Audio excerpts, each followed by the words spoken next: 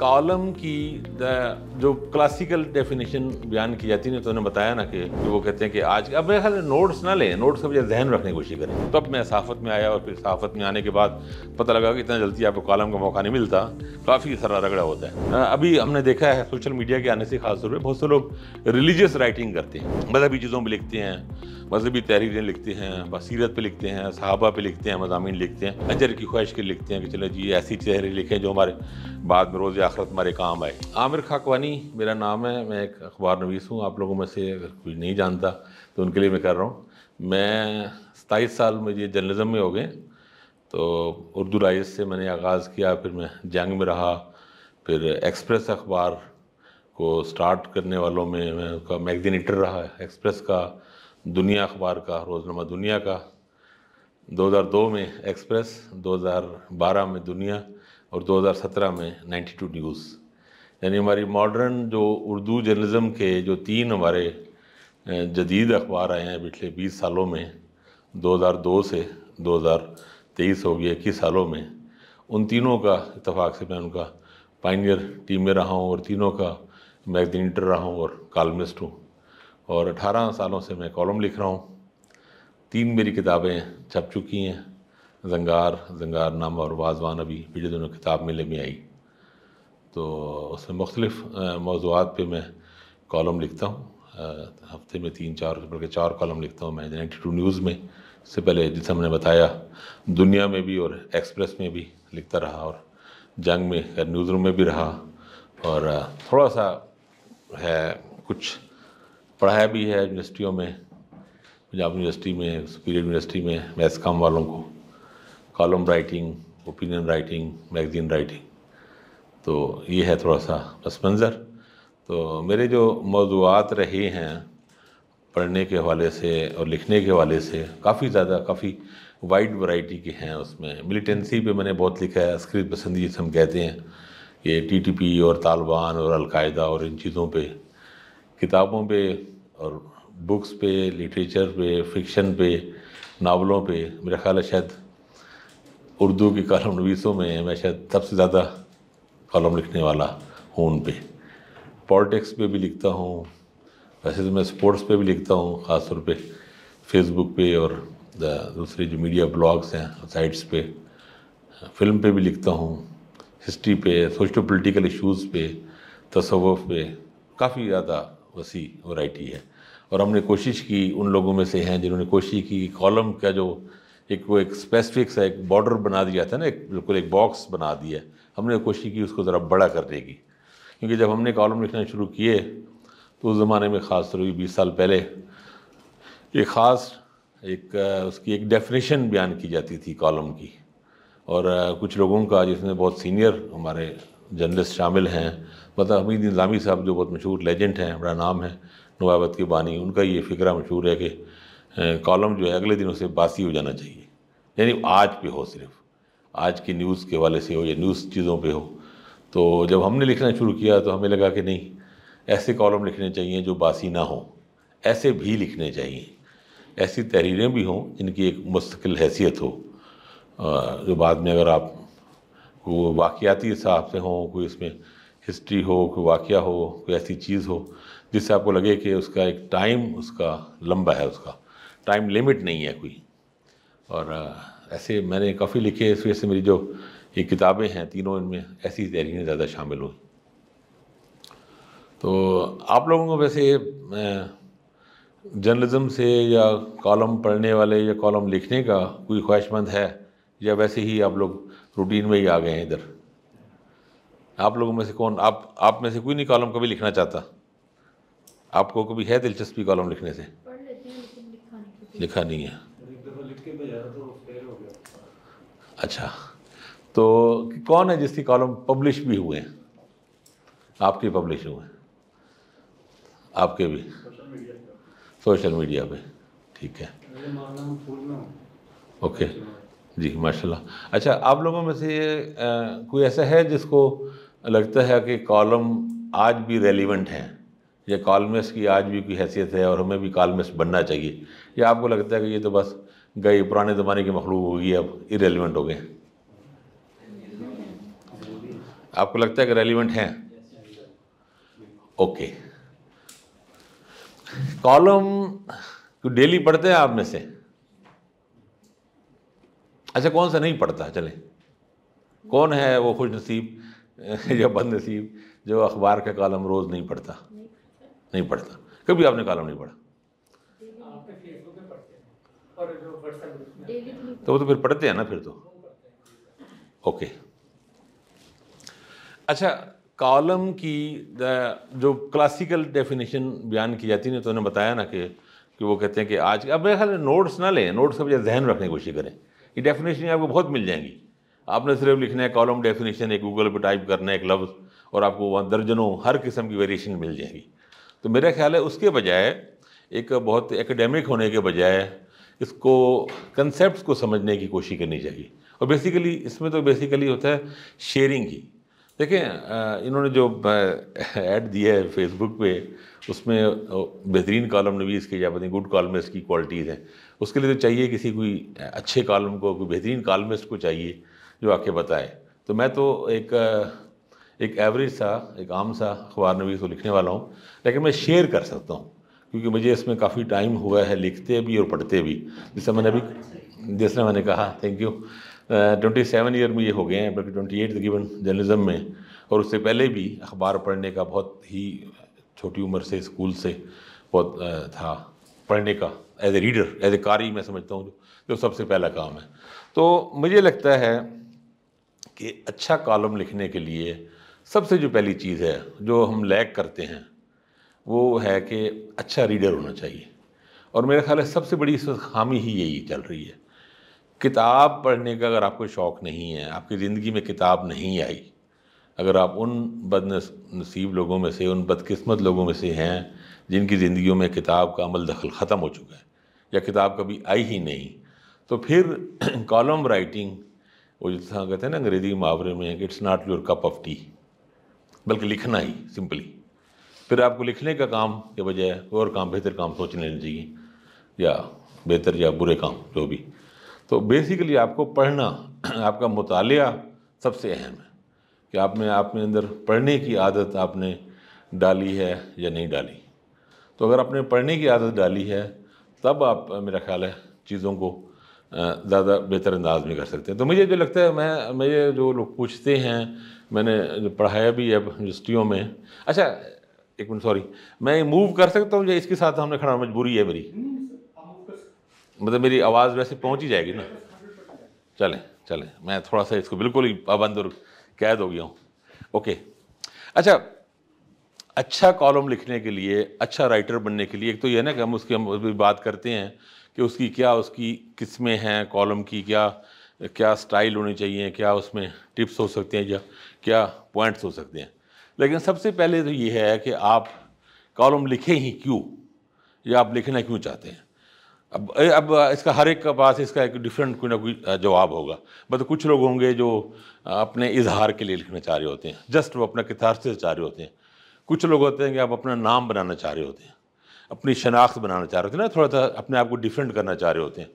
कुछ ऐसे हैं कि जिनको पढ़ते हैं तो उनको लगता है कि यार हम भी कुछ लिख सकते हैं। कुछ का ऐसा, कह लें कि बाद लोगों का, काम इस नोयत का होता है प्रोफेशन इस नोयत का होता है, वो किसी अखबार में काम, किसी वेबसाइट में काम कर रहे होते हैं, किसी और जगह पर लिख रहे होते हैं। और बहुत से लोग रिएक्शन में लिखते हैं, ख़ासतौर पर पोलिटिकल कॉलम जैसे आज की सूरत बनी हुई है, कुछ लोग आपको इमरान खान को आप पसंद कर रहे हैं, पीटीआई को पसंद कर रहे हैं, या उससे नफरत कर रहे हैं, उसे नापसंद कर रहे हैं। हर दोनों सूरतों में जब आप पढ़ते हैं ना, या कुछ प्रोग्राम देखते हैं तो गुस्से में एक रिएक्शन में बंदा लिखते हैं। जैसा लोग आज के ट्वीट करते हैं सोशल मीडिया पे पोस्टें डालते हैं, लोग लिखते भी हैं, लिखने का भी। तो सबसे पहली बात जो आप लोगों को अपने अंदर ढूंढनी या तलाश करनी है, कि रीज़न क्या है, कि आप क्यों लिखें? वो रीज़न जितनी बड़ी और ताकतवर होगी, उतने आप उसमें अच्छे राइटर बन सकेंगे। आपके अंदर क्या है? आपको पहले ये देखना चाहिए कि आप क्यों लिखना चाहते हैं? क्या और आप उसकी क्या कीमत अदा कर सकते हैं? असल बात यह है कि जब आप कुछ भी देखें, कुछ भी काम, ज़िंदगी में कोई भी काम करें, कोई भी इवन ख़वातीन जो घर बैठ के या जो लोग घर बैठ के भी काम करते हैं, सिर्फ़ जस्ट कुकिंग भी करें या, पढ़ते हैं या कुछ भी काम करते हैं कोई अच्छा कोई एक्सपर्ट है कोई टेक्निकल आदमी है किसी भी काम हर चीज़ की कीमत है ना एक प्राइस पे करनी पड़ती है।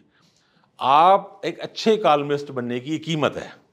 एक बेहतरीन कॉलम लिखना एक वो आपसे प्राइस लेगा आपसे कुछ मांगेगा।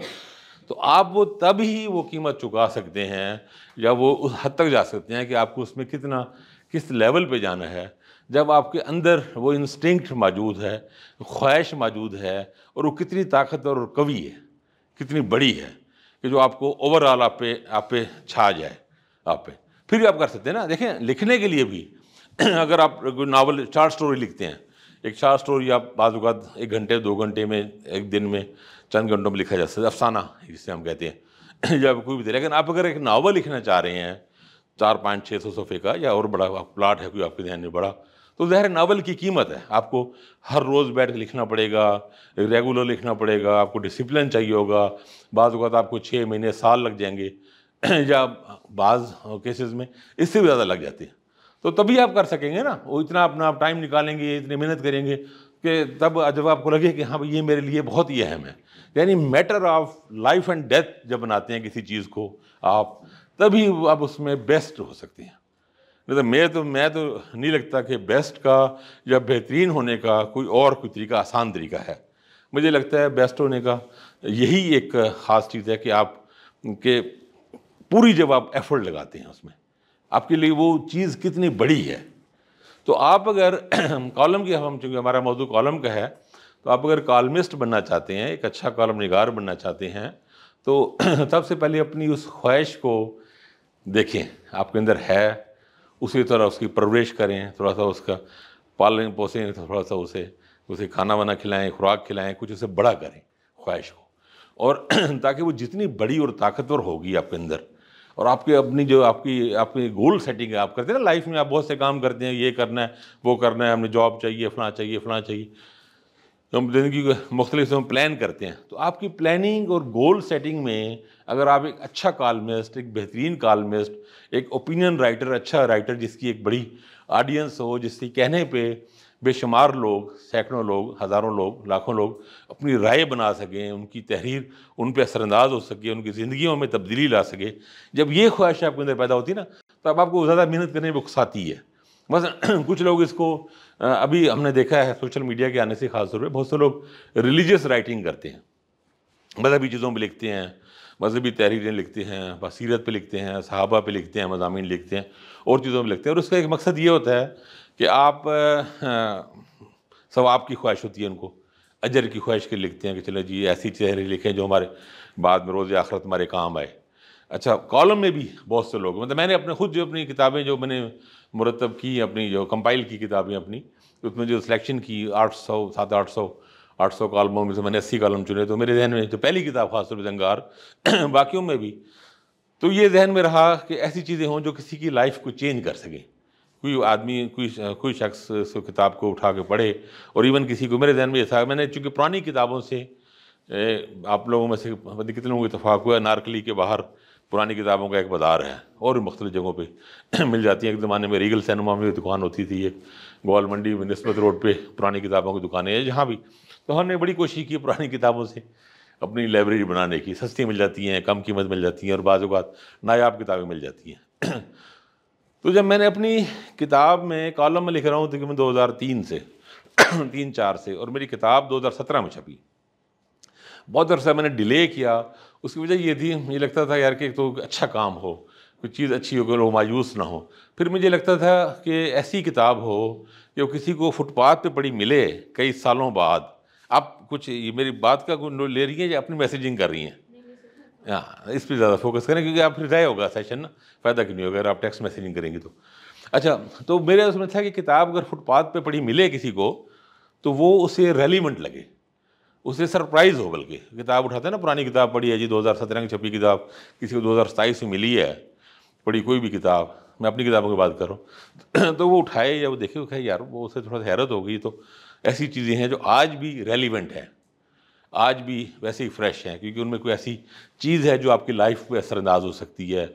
उसमें कोई ऐसी किताबों का ज़िक्र है जो आज भी रेलिवेंट है। जो तारीख़ इंसानी की, तारीख़ इंसानी, यानी हज़ारों साल की जो तारीख़ों में जो सबसे बड़ी किताबें लिखी गई हैं, उन पर कोई बात की गई है, या कोई ऐसा मशवरा ऐसा है लाइफ के वाले से, या और चीज़ों के वाले से, ज़िंदगी के मुख्तलिफ़ इसबाक हैं, कोई वाक़ ऐसा है, कोई कहानी ऐसी है, कोई ऐसी चीज़ है जो आपको लगे, दिलचस्प लगे। तो वो एक चीज़ ये, वो अब ये सारी मेहनत, ये सारी ये तपस्या जो हम है, ये सिर्फ़ हम उस सूरत में कर सकते हैं, जब आपके पास कोई लार्जर देन लाइफ ख्याल हो, आपका हो। मतलब मैं जब लिख रहा था, लिखने आया, मैं बेसिकली जर्नलिज्म में आया ही कॉलमिस्ट बनने हूँ। मेरा एक ड्रीम था डे ड्रीमिंग मैं बहुत करता रहा हूँ, अभी मैं बड़ा उसका कायल हूँ। तो स्कूल के ज़माने से मुझे लगता था कि मेरी जो एक शनाख्त बने, वो बने एक कॉलमिस्ट के तौर पे। एक उस वक्त हमें लगता था कि शायद इंटेलेक्चुअल बनना आसान काम है, दानश्वर बनना तो हम चाहते थे कि ऐसा इल्म हासिल करें इतना कि हमारी एक शनाख्त हो, एक दानश्वर के तौर पे या एक तजियाकार के तौर पे। तो मैं चाहता था कि मैं कॉलम लिखूं स्कूल के ज़माने से।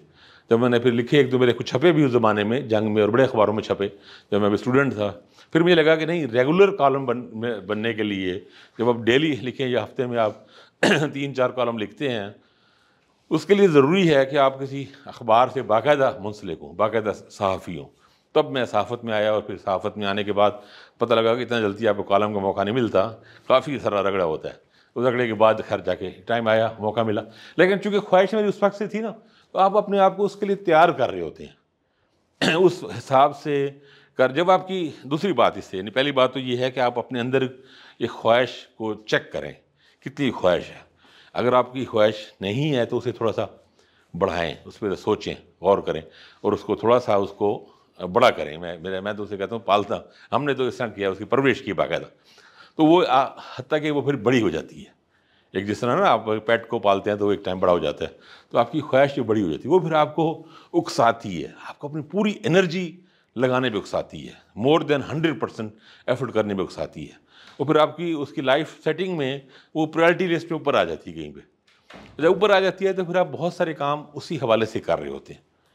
अच्छा एक बार और चीज़ और भी है, जो अल्टीमेटली काउंट करती है कि आपकी इकॉनमी आपकी इकॉनमी आपके उस काम से जुड़ी है या नहीं। अगर आपकी इकॉनमी जुड़ी होती है, जैसे मैं उन खुश नसीब लोगों में से हूँ जिनका पेशा ही यही लिखना है या काम करना मेरा रोज़गार, मेरा घर इसी से चलता है। तो एज ए जर्नलिस्ट मैं एक मैगजीन एडिटर हूँ, मैंने बताया आपको और कॉलम लिखता हूँ, उसके मुझे पैसे मिलते हैं और लकीली अब कुछ अच्छे पैसे मिलते हैं। यानी इतने मिलते हैं कि मेरा काम चल जाता है उसी से अलहमदिल्ला तो वो एक आपके लिए ज़्यादा आसानी हो जाती है। लेकिन आप बात बहुत से लोग ऐसे हैं जिनकी इकॉनमी का कोई ज़रिया कोई और है। कोई प्रोफेसर हैं यूनिवर्सिटी में पढ़ा रहे हैं, वो उनके लिए भी ज़रा ईजी हो जाता है। क्योंकि तदरीस का काम भी थोड़ा सा ज़रा लिखने पढ़ने का है, इससे मिलता जुलता लेकिन ऐसे लोग हैं, डॉक्टर हैं, आईटी प्रोफेशन हैं, कोई इवन चार्टर अकाउंटेंट हैं, कोई और लोग मुख्तलिफ़ शो लेकिन उनको, चूँकि मताले का शौक़ था, पढ़ने का शौक़ था तो वो लिखने की तरफ़ आए और आते रहे। और फिर ऐसे ऐसा बहुत से लोगों ने अपनी नाम बना लिया। और कुछ लोग ऐसे हैं हमारे कई दोस्त और कई हमारे छोटे भाइयों की तरह लोग ऐसे हैं जिन्होंने प्रोफेशन ही बाद में बदल गया। मतलब एक बहुत ही प्यारे हमारे छोटे भाइयों की तरह एक सोशल मीडिया पे बहुत एक्टिव हैं, बहुत अच्छा लिखते हैं, हसनैन जमाल।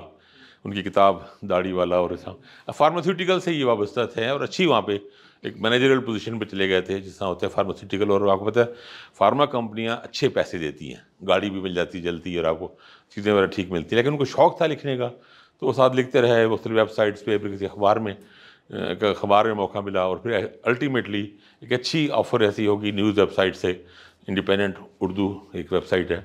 तो कि वो उन्होंने अपना पूरा करियर ही स्विच कर लिया, और वो भी एक मिड लाइफ में जाके, क्योंकि अंदर एक सलाहियत थी उस सलाहियत को उन्होंने पॉलिश किया, उसका इजहार किया और वो लिखते रहे और अपनी जगह बनाई। और आप जब अच्छा लिख रहे होते हैं अच्छा काम कर रहे होते हैं तो आप अल्टीमेटली आप तस्लीम कराए की हो जाते हैं, माने जाते हैं। तहरीर आपकी ना अपनी एक ताकत रखती है। बगैर किसी सिफारिश के, बगैर किसी ताल्लुक़ के, अगर आप में वो जादू है, होता ही है, हम में से बहुत से लोग अपनी तहरीर भेजते हैं। आप लोगों में किसी का आगे भेजी नहीं छपी। तो वो हम नहीं छपती किसी भी वजह से।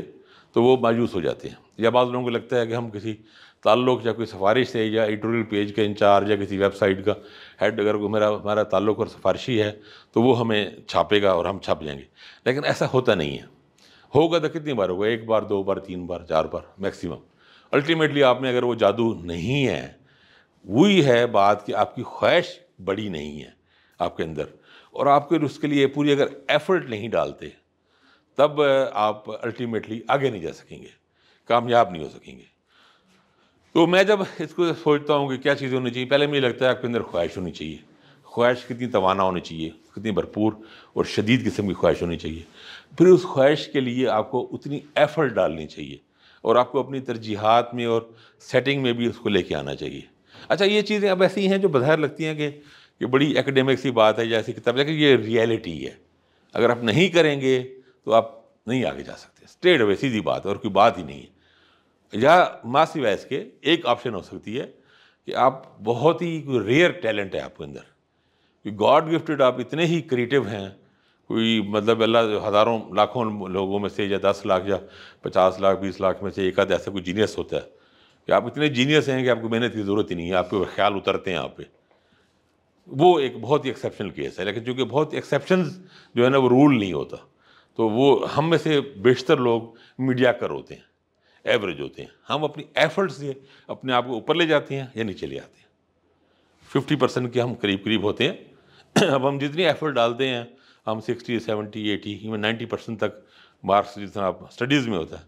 नहीं तो आप उसी फिफ्टी पर रह जाते हैं या बाजू का थोड़ा सा और नीचे गिर के फोर्टी फाइव फोर्टी और इस तरह करके, या बिल्कुल ही आप वॉश आउट हो जाते हैं। तो ये है कि आप, यानी कितनी एक एफर्ट डालते हैं? एक तो ये इसमें दूसरी बात लगी। अच्छा मैं तीसरी जो चीज़ मुझे लगती है, वो ये है कि आपने इस स्किल को सीखने के लिए क्या एफर्ट किया क्या तरीका इख्तियार किया क्योंकि ये स्किल भी है ना। लिखना, जिस तरह, देखे ना, आवाज़ किसी की अच्छी है, अल्लाह ने उसे खूबसूरत आवाज़ से नवाजा है, लेकिन उसके साथ अल्टीमेटली कोई सुर लगाने के लिए आपको कुछ चीज़ें आपको सीखनी पड़ेगी ना, कि किस तरह उसमें रिधम में आती हैं, किस तरह कि ताल है और उसके मुताबिक चलना है और किस तरह आपके अंदर फिर एक रियाज करना पड़ता है। अपने आप को एक बाकायदा से अगर आप सीखते हैं इंस्ट्रूमेंट से सीखते हैं और उस हिसाब से रियाज करते हैं, तभी जाके आपके अंदर बनती है। तो ये स्किल भी है। तो आपने वो स्किल सीखना है। अब हम थोड़ी सी उस पर स्किल भी बात करते हैं कि भी क्या इसके लिए स्किल हो सकता है या क्या कुछ चीज़ें हो सकती हैं। तो आपने स्किल सीखने के लिए क्या तरीक़ाकार इख्तियार किया या क्या चीज़ें करते हैं? मेरे साथ अक्सर ये होता है कि अक्सर यानी तकरीबन रोज़ाना ही एक दो बंदों किसी न किसी का मैसेज आता है कि जी हमें आप अपना शागिर्द बना लें, हम आपको शागिर्द बनना चाहते हैं, या हम आपसे सीखना चाहते हैं, या हमारी कालमों, तहरीरों की सलाह करें। देखें, किसी के पास भी आज के दौर में किसी मसरूफ़ आदमी के पास या जो अपने शोबे में एक्टिव है या काम कर रहा है बहुत ज़्यादा, किसी के पास इतना वक्त नहीं है कि वो आपको पुराने ज़माने की तरह एक अपनी शागिर्दी में लेके आपको, आपकी हर तहरीर की असलाह करे। ये प्रैक्टिकली मुमकिन ही नहीं होता। तो इसका मतलब ये है, आपको जो चीज़ें करनी है, वो अस खुद करनी है।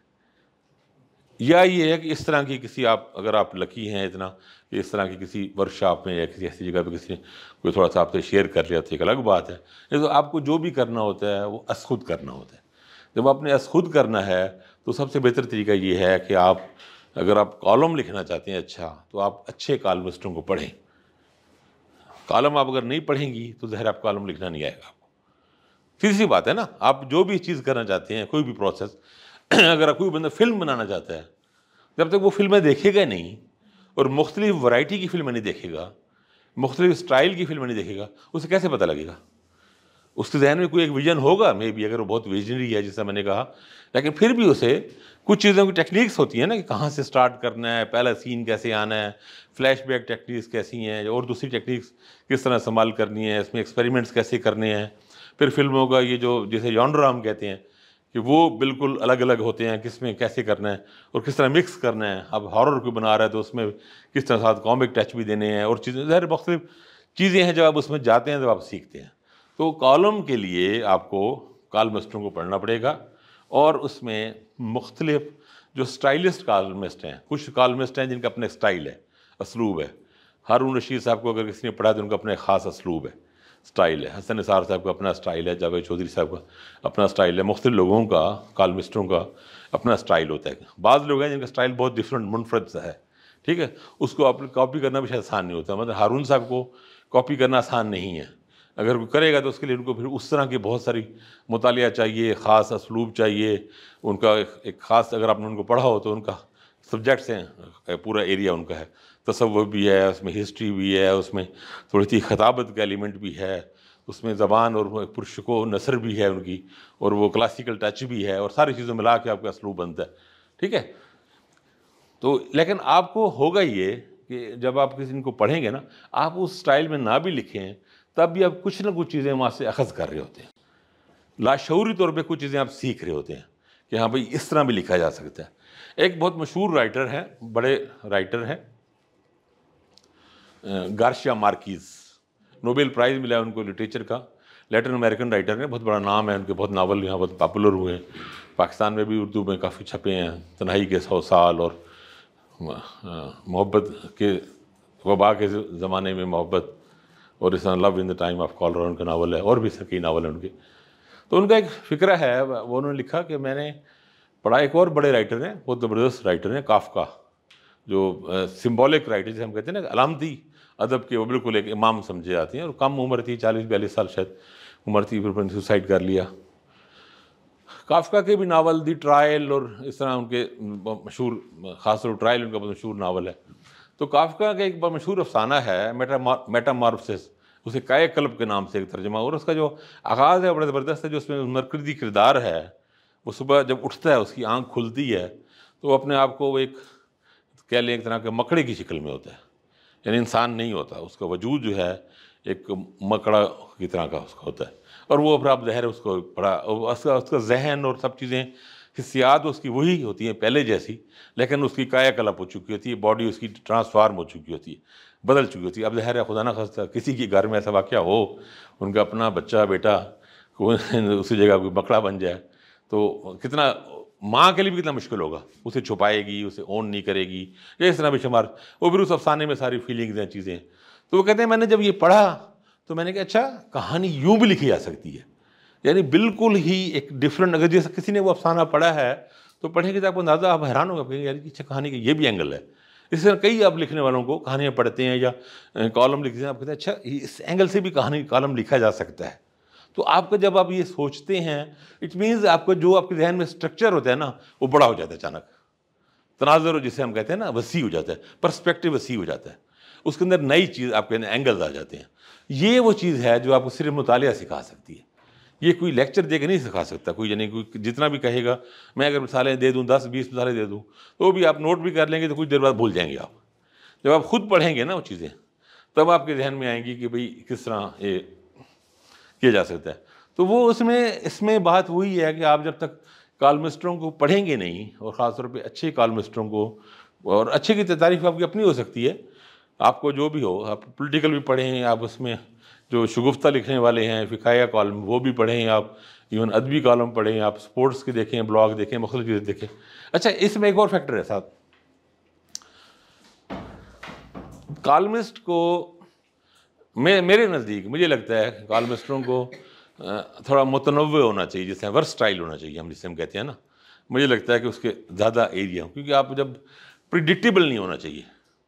यानी कॉलम, मेरा अगर कॉलम छपा है आमिर खान, जंगार का मेरा एक लोगो लोगो होता है, छपा है तो आपको छपने से पढ़ने से पहले पता नहीं चलना चाहिए क्या है। अगर ये अनफॉर्चुनेटली पोलिटिकल आवाज़ से मेरे कॉलम का थोड़ा अंदाज़ा हो जाता है, क्योंकि मेरी ख़ास एक ओपिनियन है जो मैं बड़े ज़ोर शोर से दे रहा हूँ सियासी वालों से, एक थोड़ा सा प्रो पीटीआई और एंटी पीडीएम तो लेकिन वो पोलिटिकल है, लेकिन उसके अलावा जो चीज़ें हमें हैं, वो मैं यही कोशिश करता हूँ कि आप राइटर को, आप रीडर को सरप्राइज़ दें। तो वो आप तभी दे सकते हैं जब आपके पास स्टाइल हो। आपके पास सिर्फ़ एक मौजू ना हो, आपके पास कई मौजूद हों। और कई मौजूद के लिए ज़रूरी है कि आपका थोड़ा थोड़ा करके आपको मुख्तलि चीज़ों के बारे में पता हो। आपका नॉलेज हो, आपका मुताल वसी हो। आप एक से ज़्यादा एरिया ऑफ़ लाइफ के बारे में लेकिन आपको मुतनव हो वर्सटाइल हो, कई चीज़ें आप पढ़ें, लेकिन अल्टीमेटली आपको एक, दो, तीन आपको एरिया अपने स्पेशल बनाने पड़ेंगे, जिसमें आपकी स्पेशलिटी हो, जिस पे आप फोकस करें। और बहरहाल, अब जो इस वक्त रिवाज चल रहा है, जो ज़माना चल रहा है, उसमें पॉलिटिकल और करंट अफेयर्स को आना होता है, उसमें आ जाता है। क्योंकि बहुत ज़्यादा लोग पॉलिटिक्स पे लिख रहे हैं और बहुत ज़्यादा पढ़ रहे हैं। सोसाइटी बहुत ज़्यादा पोलिटिसाइज हो गई है कि आप उससे हट नहीं सकते। तो अगर आपको पॉलिटिक्स से इंटरेस्ट है, करंट अफेयर्स भी चीज़ों पर इंटरेस्ट है तो आपको थोड़ा सा उसमें आपको डिग नीचे जाना पड़ेगा उसमें, गहराई में जाना पड़ेगा। आपको उन चीज़ों को सीखना पड़ेगा, आपको समझना पड़ेगा। मतलब आप अगर अपने, जैसा मैंने कहा ना, आपको कम से कम एक दो एरिया जहाँ आपकी स्पेशलिटी हो, उन पर आप फोकस रखें। आप फैसला कर लें कि आपने उस मौजू पर आने मैंने अपनी मिसाल मजबूर नहीं देनी पड़ रही है बात को सिर्फ़ एलेबरेट करने के लिए। ये 2008 9 8 के बाद, तकरीबन नाइन टेन में मैं एक अखबार था एक्सप्रेस अखबार, उसमें मैं कॉलम लिखता था। हमारे उस ज़माने के जो ग्रुप लीडर थे, बहुत बड़े, साफ़ी बड़ा नाम था उनका लेजेंड थे, अब्बास अतर साहब। तो उन्होंने समा उन्होंने एक पॉलिसी बना दी कि पीएस पार्टी गवर्नमेंट थी और उसके ख़िलाफ़ चीज़ें नहीं लिखनी। नहीं छपनी। दरदारी साहब पे तनकीद नहीं होनी। रहमान मलिक साहब उस इंटीरियर मिनिस्टर थे या और चीज़ें तीनों कह रही जाली डिग्रियों का बड़ा इशू था, वो कहते थे इस पर नहीं लिखना। पाबंदियाँ काफ़ी सारी, सेंसर जिसे हम कहते हैं ना, अखबारों में होता है, मीडिया में बहुत होता है। अभी देखिए, अचानक पता लगता है कि इमरान खान की तकरीर है तो बाइकाट है, कोई दिखा नहीं रहा। सिरे से नहीं दिखा रहा कोई, क्योंकि सब पे पाबंदी होती है डर हो जाएगा अगर दिखाया तो हमारा चैनल बंद हो जाएगा या अखबार के लिए मसला हो जाएगा सब। या और बहुत सारे वाक़ात हुए हैं। टीएलपी की चली थी, उसका बड़ा ज़बरदस्त बाइकाट हुआ। बिल्कुल ही पता नहीं चल रहा था कि ये लबैक आलों की थी। और चीज़ों पर हिफाजत होता है। सेंसर अखबारों में, कॉरपोरेट सेंसर बहुत, कॉरपोरेट प्रेशर्स भी बहुत सारे होते हैं। मसलन आप अखबारों में चैनल्स में बहरे डाउन के खिलाफ कुछ नहीं छप सकता आपका। क्योंकि वो इश्तहार देते हैं। मोबाइल कंपनियों के खिलाफ आप कोई कॉलम किसी का नहीं देखेंगे। किसी अखबार में ना टी वी का प्रोग्राम देखेंगे। क्योंकि सबसे बड़ा इश्तहार ही सब वही दे रहे होते हैं।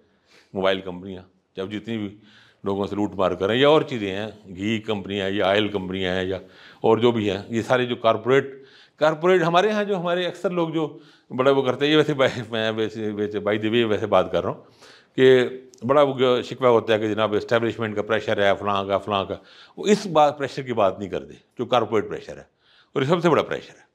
इवन सो मच सो कि जो सरकारी इदारे हैं वापडा वगैरह हैं, या एल डी ए है, या सी डी ए वगैरह है या बैंक्स हैं नेशनल बैंक वगैरह, सरकार के हैं ना, आप बाज़ात ऐसी पाबंदी हो जाती है कि आप उनके खिलाफ नहीं लिख सकते। क्यों नहीं लिख सकते? क्योंकि वो इश्तहार देना बंद कर देते हैं। तो जो कारपोरेट प्रेशर्स हैं, वो अपनी जगह हैं। तो मैं बात ही कर रहा था, अखबार में हमारे पास सेंसर हमारे पास, मेरे पर भी जहर आ गया। तो उस वक्त मैं था, या तो मैं पी पार्टी के हक में लिखना शुरू कर दूँ, या लिखना ही छोड़ दूँ, या फिर कुछ और करूँ। तो हमने फिर कोशिश की कुछ और एरिया ढूंढे, जिसमें मैंने फिर मिलिटेंसी भी लिखना शुरू किया।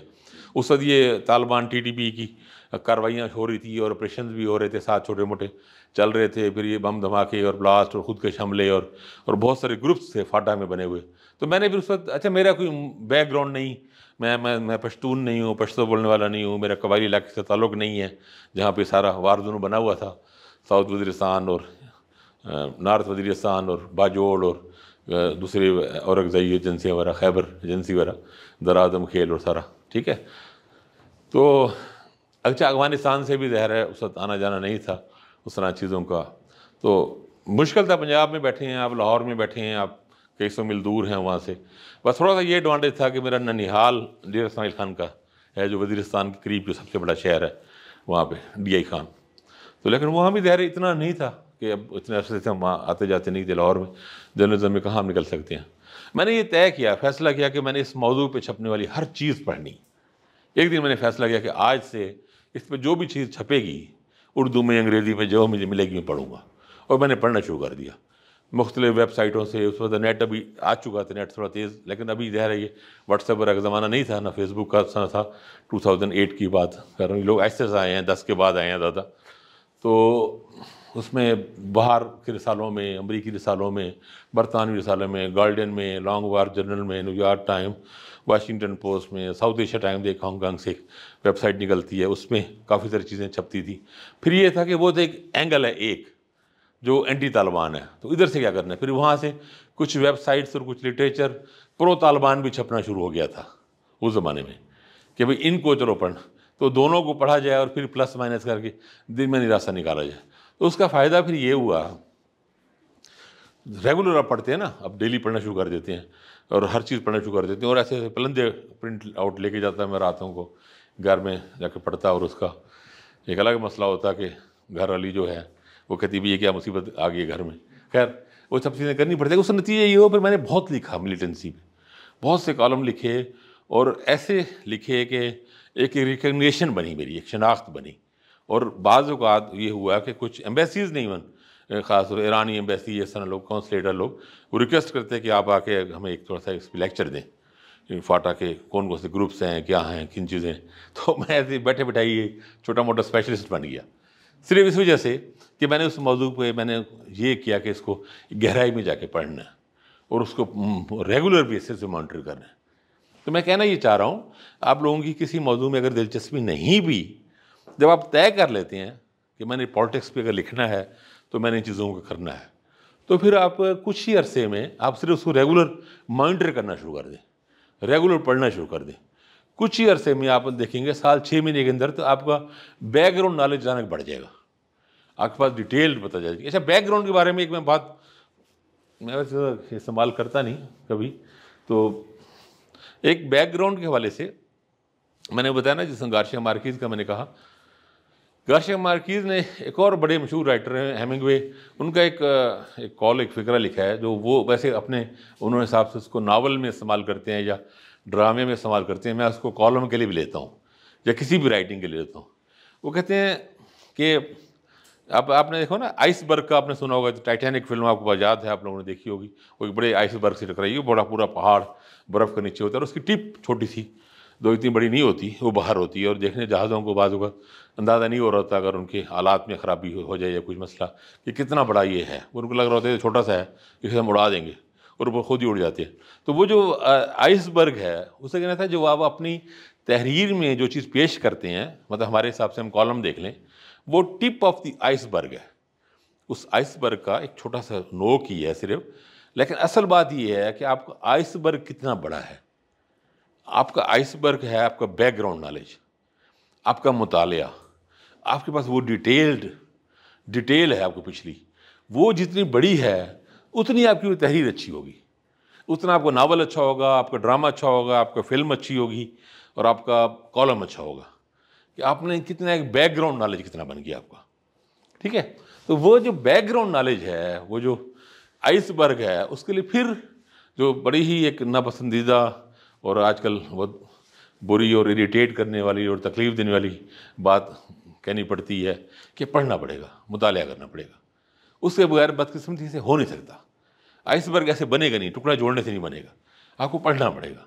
मसलन मैं बात अपने स्टूडेंट्स को कहता हूँ, अपने जूनियर्स को कहता हूँ जो इंटर्नशिप करने आते हैं ट्रेनिंग करने आते हैं हमारे पास, उनको मैं कहता हूँ, बहुत ही आसान नुस्खा है। अपने पॉलिटिक्स को समझना है, पढ़ना है, अपने अपडेट रखना है। आप आज ही तय कर दें, कर लें कि हमने एक या दो या तीन, नेट पे से अखबार मिल जाते हैं, खरीद, ना भी ख़रीदें। उनके पोलिटिकल एडिशन पढ़ने हैं। हमारे यहाँ जुमरात को तकरीबन तीन चार अखबारों के पोलिटिकल एडिशन छपते हैं। एक अद अखबार गालबन एक्सप्रेस बुध को छपता है। पोलिटिकल एडिशन में डायरियाँ होती हैं। लाहौर की डायरी कराची की डायरी पेशावर की डायरी कोयटा की डायरी इस्लामाबाद की डायरी बाज़ कहीं पे मुल्तान की होती है, किसी अखबार में आज़ाद कश्मीर की भी होती है। और जैसे हम लोग, हमारे अखबार नाइन्टी टू न्यूज़ में हम सरगोदा, फैसलाबाद वगैरह की भी लगाते हैं। तो वो जो रीजनल डायरीज होती हैं, उससे होता ये है कि हम यहाँ पंजाब में बैठे हैं ना, हमें के पी की पॉलिटिक्स का नहीं पता चल रहा होता क्या हो रहा है। जब बलूचिस्तान का नहीं पता लग रहा होता। हमें तब पता रहता जबकि बड़ा इवेंट आता है खबर में। आता है ना, तब हमें पता चल जाता है अच्छा जी, को बड़ा, कि तहरीक कदम अतमाद पेश हो गई वजी अला के खिलाफ। अब उससे पहले जो खिचड़ी पकड़ी होती है, वो आपको कोयटा की डायरी अगर आप पढ़ेंगे तो आपको पता चलता रहेगा। आप अपडेट रहेंगे कि वहाँ हो क्या रहा है। वहाँ इंटरनल पॉलिटिक्स क्या है? झगड़े क्या चल रहे हैं, वो एक दिन थोड़ा सा लो लेवल पे, या दरमियाने लेवल पे कन्फ्लिक्ट चल रहे होते हैं, वो उनकी पोलिटिकल डायरियों में रिफ्लेक्ट हो रही होती है। यही बात पेशावर की है। पेशावर में क्या चल रहा है? बलदियाती इलेक्शन में कौन जीता है, कौन हारा है? जे यू आई पहला राउंड क्यों जीती थी, दूसरा राउंड क्यों हारी? डेरा इसमाइल खान में मौलाना फजलरमान अपने ही शहर से, अपने ही डेरा इसमाइल खान से ताल्लुक है उनका मौलाना फजलरमान का। वहाँ से इलेक्शन हारे थे दो हज़ार अठारह में दो सीटों पर और उनका था कि धांधली हुई है। लेकिन जब इलेक्शन हुआ, अभी पिछले साल मार्च में हुआ, तीस से इकतीस मार्च को हुआ, उसमें वो डेरा इसमाइल खान की छः छः तहसीलें हार गए। छः तहसीलें थी, सबके सब हार गए। एक भी भी मौलाना का कोई कैंडिडेट जे का नहीं बन सका। डेरा इसमाइल खान का सिटी मेयर जो अली अमीन गंडापुर है, इनके भाई बने। मेयर, क्यों हुआ ये ऐसा? अब यहाँ पे लाहौर में बैठा, कोई भी आपको जर्नलिस्ट नहीं बता सकेगा, जब तक उसका वहाँ से कोई रबता ना हो। लेकिन आप अगर एक दो अखबारों के, कोई से भी, मैं नाम भी रहने देता हूँ, कोई भी आप अपनी पसंद से दुनिया देख लें, जंग देख लें, एक्सप्रेस देख लें, नाइट टू देख लें, किसी को भी देख लें तो वो अगर आप पढ़ रहे होंगे ना, या आपको पता हो, आपको पता चल रहा होगा कि भी वहाँ हो क्या रहा है। डेरा इसमेल खान में क्या मसले हैं, क्या चीज़ें इनकी भाई की वजह से मसाइल हैं, लोग वहाँ से खुश नहीं हैं या जो भी हैं, या लोकल अलाइंस क्या बन गया है, इस तरह सिंध में है।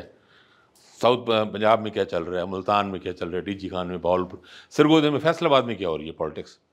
आबिद शेर अली का ग्रुप है राना सनाउल्ला का ग्रुप है, इनमें क्या झगड़े हैं, क्या चीज़ें हैं, क्यों नहीं आ रहा जिमनी इलेक्शन में कौन जीतेगा, कौन नहीं जीतेगा? सरगोदा में क्या जोड़ तोड़ हो रहा है? बलदादी मेयर के लिए क्या, कौन सा उम्मीदवार आ रहा है? एम के लिए, नून लीग के अंदर क्या कन्फ्लिक्ट चल रहा है? ये चीज़ें आपको फिगर टिप्स पे आ जाएँगी। जब आप सिर्फ़ पॉलिटिकल पे थोड़ी देर निकाल के अपना बुध जुमरात को नेट पे जाके आप सिर्फ़ पढ़ना शुरू करेंगे बहुत मुश्किल आपका। आधा से एक घंटा लगेगा। डायरी है ना कुछ? सिंपली जस्ट आप पढ़ें। और आपको अगर पसंद हो या अच्छा लगे तो कुछ पॉइंट्स नोट कर लें कहीं पर। कोई डायरी वारी रख लें, किसी कंप्यूटर पे किसी कर लें। अब तो हर जगह बहुत सारे डाटा आपके पास मसला ही क्यों नहीं? मोबाइल पे ही नोट्स ले लेते हैं और चीज़ें ले लेते हैं।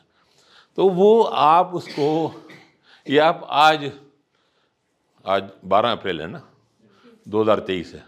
आज से आप फैसला कर लें, कल से कर लें, तेरह अप्रैल से। मैं आपको यकीन से कहता हूँ, तेरह अप्रैल 2024 में अगर आपने इसे एक साल पूरा किया, आप हैरान कौन हद तक चीज़ों का आपको अपडेट नॉलेज बहुत बेहतर होगा।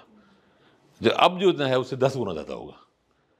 और इवन जो अब टीवी पे और एंकर्स और उससे लोग आके तजियाकार बड़े बड़े सो कॉल्ड बड़े बड़े नाम आके बात कर रहे होंगे तो आपको हैरत होगी, यार तो कितनी खाली बातें, इनको पता ही नहीं असल रीजन हैं क्या। ठीक है ना? तो हम उस पर एफर्ट नहीं करते वो। अब हम सबसे ज़्यादा लोग पॉलिटिक्स में लिख रहे होते हैं। फेसबुक उठा के देखें, सबसे ज़्यादा पॉलिटिक्स में लिख रहे होते हैं। आर्टिकल्स आते हैं एडिटोरियल पेज के लिए सबसे ज़्यादा पॉलिटिकल लिख रहे होते हैं। और फिर कहते हैं, हमारा छपता नहीं। भाई, आप क्यों छपे? आपकी तहरीर में क्या ऐसी खास बात है कि आपने कोई नई इन्फॉर्मेशन दी है? ताल्लुक आपका है नहीं। पॉलिटिक्स की डायनेमिक्स आपको पता नहीं है। इंटरनल आपको पता नहीं है, आपको पता नहीं है कि तहरीक इंसाफ की सेंट्रल एग्जेक्टिव कमेटी में या इमरान खान की किचन कैबिनेट में या जमा पार्क में क्या हो रहा है? आपकी वहाँ तक रसाई नहीं है। होगी तो वो दो तीन रिलेशन से कोई वहाँ बंदा गया होगा या किसी और से मिला होगा, उसने कहा जी, फ़लाँ मेरा बंदा उधर है तो फ़लाँ ये है। तो तीन रिश्तों से वो मालूम आपको पास करेगा जो बाज़ात बिल्कुल ही गलत होंगी, मन गलत होंगी या उतनी रिलायबल नहीं होंगी। ठीक है? या और चीज़ों में, आपके पास मुस्लिम नून के बारे में मालूम नहीं होंगी, लंदन में क्या हो रहा नहीं होंगी, या जे यू आई के बारे में नहीं होगी, या मौलाना फजरमान के बारे में सभी मैंने कहा, या पी एस पार्टी की नहीं होगी, या आपके पास डायरेक्ट इन्फॉर्मेशन नहीं होगी ना तो वो आपकी बनेगी आहिस्ता आहिस्ता। अगर आप लिख रहे हैं, शोबे में हैं तो आपकी आहिस्ता आहिस्ता बनेगी।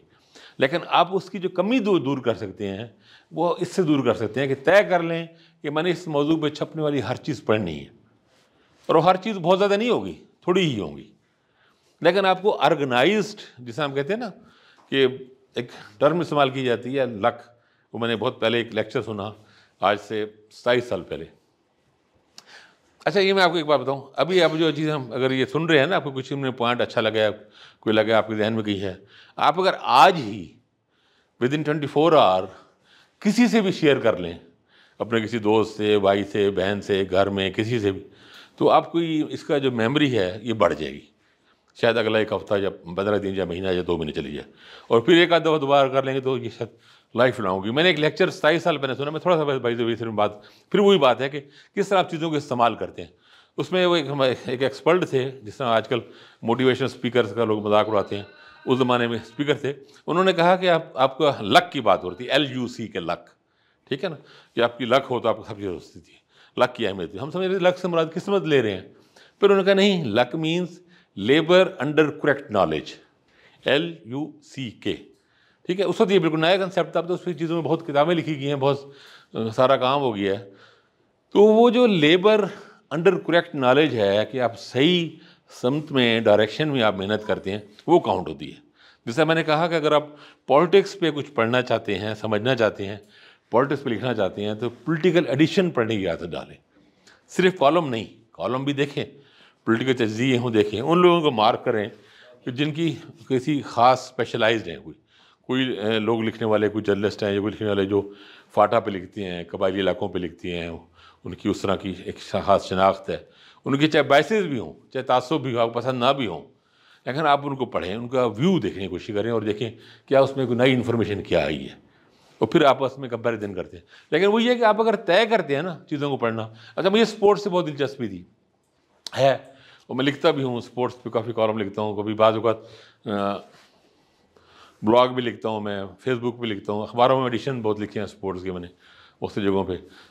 मैंने 2002 में एक्सप्रेस अखबार शुरू हुआ 21 साल पहले। मैंने 21 साल पहले अखबार बहुत अच्छा उसका स्पोर्ट्स पेज बहुत अच्छा था। अभी भी वन ऑफ़ द बेस्ट बल्कि वन ऑफ़ द बेस्ट क्या, उर्दू अखबारों में बेस्ट पेज है एक्सप्रेस का स्पोर्ट्स पेज तो मैंने 21 साल से ये तय किया हुआ है कि मैंने हर रोज़ लाजमी, यानी कमो बेश लाजमी स्पोर्ट्स पेज एक्सप्रेस का पढ़ पढ़ता हूँ मैं। तो मैं एक्सप्रेस अखबार सिर्फ़ स्पोर्ट्स पेज के लिए ही जाता हूँ। नेट पे जाऊँ, प्रिंट किसी कल में, क्योंकि मेरे पास अखबार आते हैं अपने पास जब हमें अखबार मुझे फ़ाइल हमें हमें फ़ाइल मिलती है मुख्तु चार पाँच अखबारों की ना। लेकिन जब अखबार फ़ाइल ना भी दे, तभी मैं अपने घर खुद अपने पैसे खर्च करके लगवाता हूँ। दो, तीन, चार, एक दो अंग्रेज़ी के अखबार और तीन, चार उर्दू के। तो इक्कीस साल से स्पोर्ट्स का एक पेज, सिर्फ़ दस मिनट लगते हैं उसे देखने में मुझे।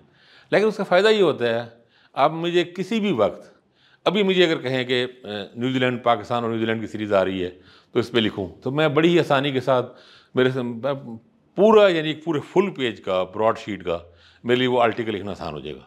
क्योंकि मैं अपडेट होगा नॉलेज मुझे पता है कि न्यूजीलैंड की टीम में कौन से खिलाड़ी नहीं आ रहे, कौन से आ रहे हैं, कौन से आईपीएल खेलने गए हैं, क्या स्ट्रेंथ है, क्या वीकनेस है, पाकिस्तानी खिलाड़ियों में क्या मसले हैं, क्या चीज़ें चल रही हैं। और किस तरह पिचेस पे होंगी, या क्या चीज़ें है। आप जैसे आईपीएल पे है या दूसरी सीरीज़ जो हो रही है आप अपडेट रह रहे होते हैं। सिर्फ़ यही होता है कि आप अपने आप को थोड़ा सा टाइम लगता है, ज़्यादा टाइम नहीं लगता उसमें। लेकिन आपको अगर आप इस्तकामत से करते हैं और आप रूटीन में करते हैं तो फिर आपकी उस शोबे में एक्सपर्टीज़ पैदा हो जाती है। इस तरह पॉलिटिक्स में अगर आप लिखना चाह रहे हैं तो आपको पोलिटिकल मेमायर्स जो हैं यादाश्तें हैं, वो पढ़नी चाहिए? मुख्तलिफ़ अदवार को जब तक आप पिछले पोलिटिकल आप अदवार पढ़ेंगे नहीं, मसलन आपको पाकिस्तानी पॉलिटिक्स में जन ज़िया का जो दौर है, वो आपको ज़रूर देखना चाहिए, पढ़ना चाहिए। आपको पता हो कि ज़िया दौर में क्या हुआ है। आपको पता हो भुट्टो दौर में क्या हुआ है। ठीक है? थोड़ा सा आपको अयूब खान का भी पता हो। पाकिस्तान की पूरी हिस्ट्री है ना? तो अब कुछ किताबें हैं जो ओवरऑल पूरी हिस्ट्री पे लिखी गई हैं। पिछले पचास साल की हिस्ट्री लिखी गई हैं। डॉक्टर सदर महमूद की किताब थी, सैंतालीस से अठासी तक, पाकिस्तान तारीख सियासत छपी है, जंग पब्लिशर ने छपी है, लेकिन वो बहुत सारी बायोग्राफीज़ हैं। लोगों ने अपनी यादाश्तें लिखी हैं। भुट्टो साहब के दौर में कुछ लिखी गई हैं। मुल्ला को सन्यासी की किताब है, और लाइन कट की मशहूर हुई थी। ठीक है और रशीद उनके आई जी थी उनकी किताब है जो मैंने देखा। इस तरह रुदात खान की बहुत ज़बरदस्त किताब है। बहुत अच्छी किताब, वन ऑफ़ द बेस्ट किताब है। ऑक्सफोर्ड ने छपी हुई है, पाकिस्तान इनकलाब के दाने पर जन ज़िया के दौर में तीन, चार, पाँच किताबें हैं मुख्तु जर्नैलों की। सेवेंटी वन पे कुछ लोगों की किताबें हैं, जर्नैलों की, पाकिस्तानियों की भी, इंडियंस की भी अगर आप पढ़ सकें तो। ठीक है, भुट्टो दौर में जैसा मैंने कहा कि वाला बेनज़ीर और नवाज़ शरीफ दौर में इनके वाले से मुख्त लोगों की, कुछ की अपनी भी हैं यादाश्तें बेनज़ीर की अपनी, बेनज़ीर भुट्टो साहबा की अपनी भी है। और किताब, कुछ अल्ताफ़ गोहरी किताब है, अयूब खान, उसके जो अयूब दौर है उस पर जनरल अयूब खान की अपनी किताब भी है वैसे, लेकिन उनके बाद उनकी डायरियाँ जो बाद में छपी हैं। गौर अयूब की किताब है जनरल ज़िया पे जनरल के एम आर एफ़ की दो किताबें हैं, वर्किंग विद ज़िया और खाकी शेडोज़। जनरल ज़िया के साथ और मिलिट्री शेडोज़, खाकी साय के नाम से छपी हुई किताब। और भी लोगों ने मतलब थोड़ा पहले जाएँगे, फिरोज खान, उनकी अपनी बायोग्राफी है, पाकिस्तान के वजी अजम रहे हैं। चौधरी मोहम्मद अली, पाकिस्तान के वजी अजम रहे हैं, उनकी किताब है, उनकी भी बायोग्राफी है। और इस आज के दौर में भी शेख शीद की किताब छपी हुई है उसने भी लिखी है, जवेद हाशमी साहब की किताबें दो हैं जूस रोज़ा गिलानी की किताब है मंजूर भट्टू की एक किताब है वजी पंजाब के रहे हैं। ठीक है? तो जो अरे ढूँढने मिल जा सकती हैं, लाइब्रेरी में मिल जाती हैं, पीडीएफ मिल जाती हैं, कुछ ख़रीद लेते हैं आप अगर चाहें तो पढ़ना। तो आपको ना उससे वाक़ात मिलेंगे बहुत सारे, जिनको आप रिलेट कर सकेंगे। सफारत खानों के एम्बेसडर की किताब है, करामत गौरी साहब की दो किताबें हैं, मैंने उस पर कोई कलम ब्लॉग लिखे हैं। रोज़गार सफ़ीर है और उनकी बार शनासईद की किताब है। और इस तरह जमशेद मार्कर की बहुत अच्छी किताब है फोकस पॉइंट पर मशहूर एम्बेसडर रहे हैं, पाकिस्तानी कई जगहों पर रहे हैं। और भी कई लोगों में दास चौधरी साहब की किताब छपी है संग ने छापी है, और लोगों की। तो वो जो है ना, आपको, मैं कहना ही चाह रहा हूँ इन किताबों में जो निचोड़ होता है ना इन्फॉर्मेशन का, वो आपको मिलता है वाक़ात मिलते हैं। तो वो वाक़ात आपको समझने में मदद मिलती है।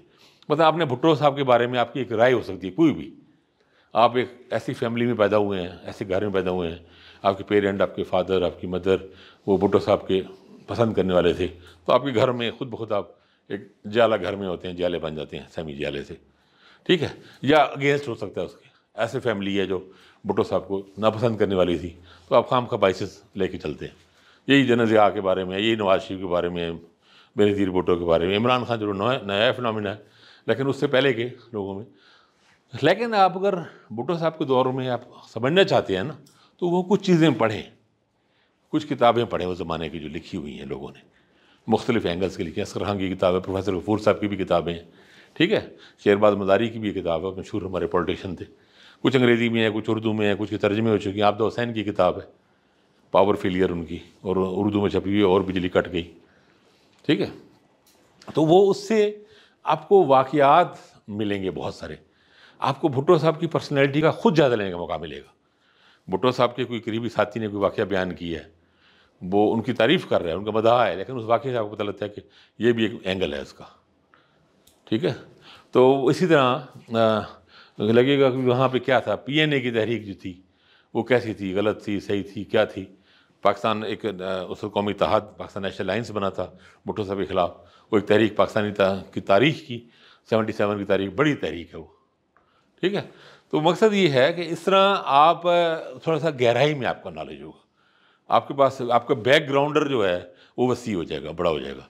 अब उसमें यही है कि आप एक दो किताबों उसको इजाफा करते रहें, जहाँ जहाँ से आपको मुख्तलिफ़ चीज़ें मिलती हैं। उसमें तजस जो कॉलमिस्ट होते हैं ना, उसमें तजस जो है, उससे क्यूरियस होना चाहिए। क्यूरियासिटी जो है ना, वो बहुत ज़रूरी है उसके अंदर। उसके अंदर सवाल होने चाहिए। उसे अपने आप से पूछने चाहिए, उसे जब अहल इल्म से बात हो, किसी से बात हो, उससे सवाल पूछने चाहिए कि अभी क्या था, भुट्टो का दौर क्या था, भुट्टो में क्या था, ये तहरीक थी वाक़ता कि अमेरिकन से पैंसठ, तारीख पैंसठ, लेकिन वो तो तब पता लगेगा ना, जब आपने कभी आपने कौमी तहाद का नाम सुना हो। या आपको पता हो कौमी तहाद में कौन लोग थे, या आपको पता हो कि वो थी क्या भला, या जन ज़िया के दौर में एम का आपने कभी नाम सुना हो, या आपको पता हो कि ए क्या चीज़ है। एम एक पोलिटिकल इतिहाद था, उस वक्त जन ज़िया की गवर्नमेंट के ख़िलाफ़, ठीक है? मोमेंट ऑफ़ रेस्टोरेशन डेमोक्रेसी तो एआरडी जो दूसरा इतिहाद था, ये जनरल मुशरफ के खिलाफ बना, जिसमें बेनदीर भुट्टो साहब और नवाज़ शरीफ साहब दोनों इकट्ठे हुए थे। तो इसी तरह मुख्तलिफ़ अलाइंसेज आपको, वही है कि आप अगर पॉलिटिक्स में चाह रहे हैं, उसकी जो हिस्ट्री के जो मुख्तलिफ़ फेजेज़ हैं, जो अदवार हैं, इनके बारे में आप कुछ चीज़ें जानने की कोशिश करें, वो उस ज़माने की जो रवायत हैं, तारीखें हैं, जो छपी हैं, जहीं पर और किसी एक एंगल पर ना इतफा कर लें। उसके दूसरे अगेंस्ट भी देखें, दूसरे लोगों को भी राय। और जब आप करना, खुद एनालाइज करना शुरू कर देंगे ना तो आपको पता लगेगा हमारे बहुत से तजियाकार बड़े बड़े साहबी भी बायस्ड हैं। बस वो भुट्टो के हम ही हैं तो हैं बस। और उन्होंने खुद ही मफरूदे बनाए हुए हैं। मुखालिफ हैं तो बस मुखालिफ हैं। यही बात जन ज़िया के बारे में है, और लोगों के बारे में अब जन ज़ियालक के बारे में एक वाक़ बहुत मशहूर, फैला, ऐसे फैला दिया गया कि लोग उसे समझते हैं कि बहुत ही सच है। एक ज़माने में मशहूर हुआ था, ये जनरल असम्बली में, उन्नीस सौ अस्सी में इन्होंने अकवा मुतहदा की जनरल असम्बली जो है, जनरल ज़िया ने ख़िताब किया। और उनको अहम बात ये थी कि वाहिद स्पीकर थे, उसके उस सेशन के स्पेशल सेशन था और पूरी वो मुस्लिम दुनिया को रिप्रेजेंट कर रहे थे। अब आज के दौर में देखें तो बड़ी हमें शायद यकीन ना आए कि लेकिन एक वक्त था पाकिस्तान की इतनी वैल्यू थी। पाकिस्तान की इतनी अहमियत थी कि हमें रिप्रेजेंट कर रहा है पाकिस्तान पूरे मुस्लिम वर्ल्ड को। पचपन छप्पन कितने मुल्क हैं उसको। जनजिया की स्पीच थी जनजिया की स्पीच से पहले वहाँ पे कुरान पाक की तिलावत की गई, ठीक है? यहाँ पे भी दिखाएगी स्पीच लाइव टेलीकास्ट हुई, यहाँ पे भी दिखाई गई, पाकिस्तान में भी, और कुरान की तिलावत भी यहाँ पे दिखाई गई। तो और था कि भाई वहाँ पे अकवा मुतहदा की हिस्ट्री में पहली बार ऐसा हुआ। है कुछ अरसे बाद जनजिया के बाद, कुछ लोगों ने कहा, नहीं, ये तो ऐसे बकवास, झूठ, पाकिस्तानी कौम को बेवकूफ़ बनाया गया, और ये तो फिर उन्होंने यहाँ पी टी वी में तकरीर, वो तकरीर से पहले चला दी थी, वहाँ तो कुछ हुआ ही नहीं था। और एक पी के एक बड़े सीनियर रहे, उनकी किताब भी छपी, उन्होंने कहा कोई ऐसा कुछ नहीं हुआ।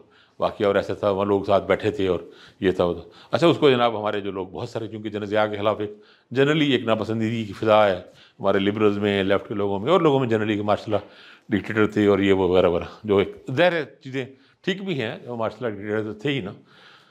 तो वो एक, इतना उसे पक्का कर दिया जाता है कि उसे चैलेंज नहीं करता। ये भी कॉलमिस्ट का जर्नलिस्ट का राइटर का ये भी काम होता है कि मिथ को चैलेंज करे। मिथ बन जाती है ना, उसमें थोड़ा सा तोड़े, ज़रब लगाए। अच्छा मैंने इतफाक़ से एक किताब पढ़ी मुझे बड़ी दिलचस्पी है पीडीएफ किताबें पढ़ने में भी, क्योंकि आजकल किताबें मिलती नहीं ना बहुत सारी, पाकिस्तान में छपी नहीं है किताबें तो कहीं से ई बुक मिल गई तो मैं उस, हमारे यहाँ होता है कि ये किताब का ये लम्स है और ये है, वो है, ये ड्रामे चलते हैं। मैं इससे ज़्यादा बिलीव नहीं करता, मैं कहता हूँ जो पढ़नी चाहिए, जो आपको मिल जाए इन्फॉर्मेशन मिले कहीं से, जहाँ से मिले, लो। Natwar Singh Indian foreign minister रहे हैं और वो डिप्लोमेट थे सफारतकार थे। उसकी, उनकी एक किताब है उसमें उन्होंने लिखा ये वाक्य कि जनरल असम्बली में, मैं उस वक्त एम्बेसडर था। एम्बेसडर नहीं थे उस वक्त, लेकिन किसी एम्बेसी में थे डिप्लोमेट थे। तो उनको वहाँ पे गए, उनको था कि भाई जनरल ज़्यादा तकरीर कर रहे हैं तो उनको फ़िक्र ये पैदा हुई कि कश्मीर पे कि ये बात ना करें। ज़ाहिर इंडियन ज़्यादा थे कश्मीर, वो उससे पहले उन्होंने कोशिश भी की पाकिस्तानी वफ्त दे कि आप कश्मीर में बात ना करें ये वो और कोशिश करें।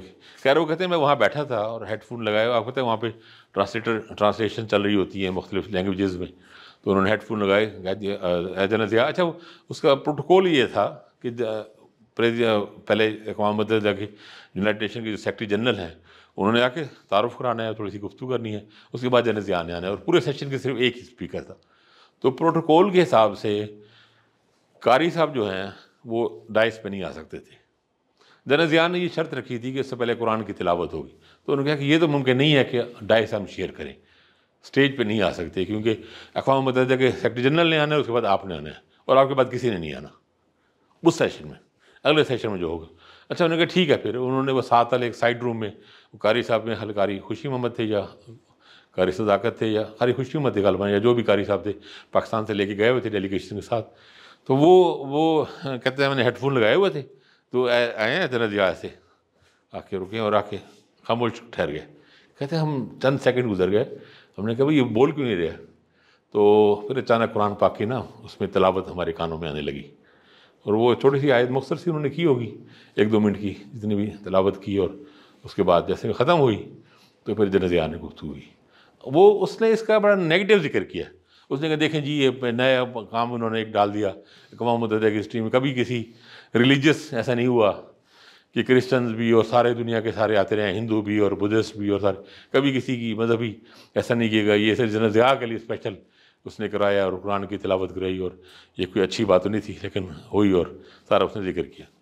अच्छा मैंने वो जो पेज था, किताब का मैंने उसको स्क्रीन लिया, उसमें मैंने कॉलम भी लिखा और मैंने वो डाला। कॉलम लिखा शोर मच गया। कि नहीं जी आप तो जनरल आके हैं और ये तो बूट पॉलिशी हैं और फौज की हामी हैं डिक्टेटर मैंने फिर अगले दिन स्क्रीन शॉट लगाया कि भाई साहब ये जनरल नटवर सिंह कह रहा है। इंडियन है बंदा जो कह रहा है जो पाकिस्तान का अगेंस्ट है वो कह रहा है और इंडियन एम्बेसडर है और वो वहाँ की बर रास्त शहादत दे रहा है। यानी रावी है उस, उस जगह पर मौजूद है। उसकी बात तो गलत गलत नहीं हो सकती। उसकी बात जहर दुरुस्त होगी। और वो उसके जनजिया के अगेंस्ट कह रहा है। यानी ये भी नहीं कह रहा कि तारीफ़ कर रहा हो उसकी। उससे गुस्सा है इस पर कि देखो जी इन्होंने जनरल असम्बली में भी कुरान पाक की तलावत करा दी इन्होंने। तो उस एविडेंस से चीज़ों से वो एक चीज़ आपका जो मिथ है फिर भी उससे टूटता है टूट जाता है। वैसे हमारे यहाँ एक और मिथ है। बहुत जगह आप पढ़ेंगे अगर आप पढ़ते हैं कॉलम कि जी लियाकत अली खान को रूस ने दावत की थी एक शुरू में पाकिस्तान बनने के बाद आ, कहा जाता है मशहूर है कि इन्होंने अमेरिका का दौरा किया। प्राइम मिनिस्टर थे पहले पाकिस्तान के लियाकत अली खान, शहीद मिलत हम उनको कहते हैं, उन्होंने अमेरिका का दौरा किया यूएस दौरा किया, उसके बाद से पाकिस्तान के यूएस रिलेशनशिप बनी और फिर बहुत से एग्रीमेंट्स बाद में हुए और सारे चलते रहे। तो उस वक्त कहा जाता है कि इनको रशिया से भी बुलाया गया था सोवियत यूनियन जिसे हम कहते हैं उस वक्त। वहाँ से भी दावत दी थी कि इन्होंने वहाँ नहीं गया अमेरिका चले गए। तो पाकिस्तान के लेफ़्ट लोगों ने पचास साल तक प्रोपोगंडा किए रखा कि जी ये देखो बड़ी जाती की इन्होंने और इनको वहाँ जाना चाहिए था, ये अमरीकी एजेंट बन गया, ये करके वो कर। बाद में कुछ लोगों ने इस पर और वहाँ के उस जमाने में वहाँ पे सोवियत यूनियन एम्बेसी में जो एक एम्बेसडर थे, उन्होंने किताब भी लिखी। बाद में गालब ने एस एम कुरशी नाम है उनका। तो फिर कुछ दिन बाद में उन्होंने कहा, कभी ऐसी दावत दी ही नहीं गई। पाकिस्तान को फॉर्मली सोवियत यूनियन से मिनिस्ट्री ऑफ़ जो एक्सटर्नल अफेयर्स, वजारत खारजा से आती है ना, कभी ऐसा फार्मल दावतनामा आया ही नहीं।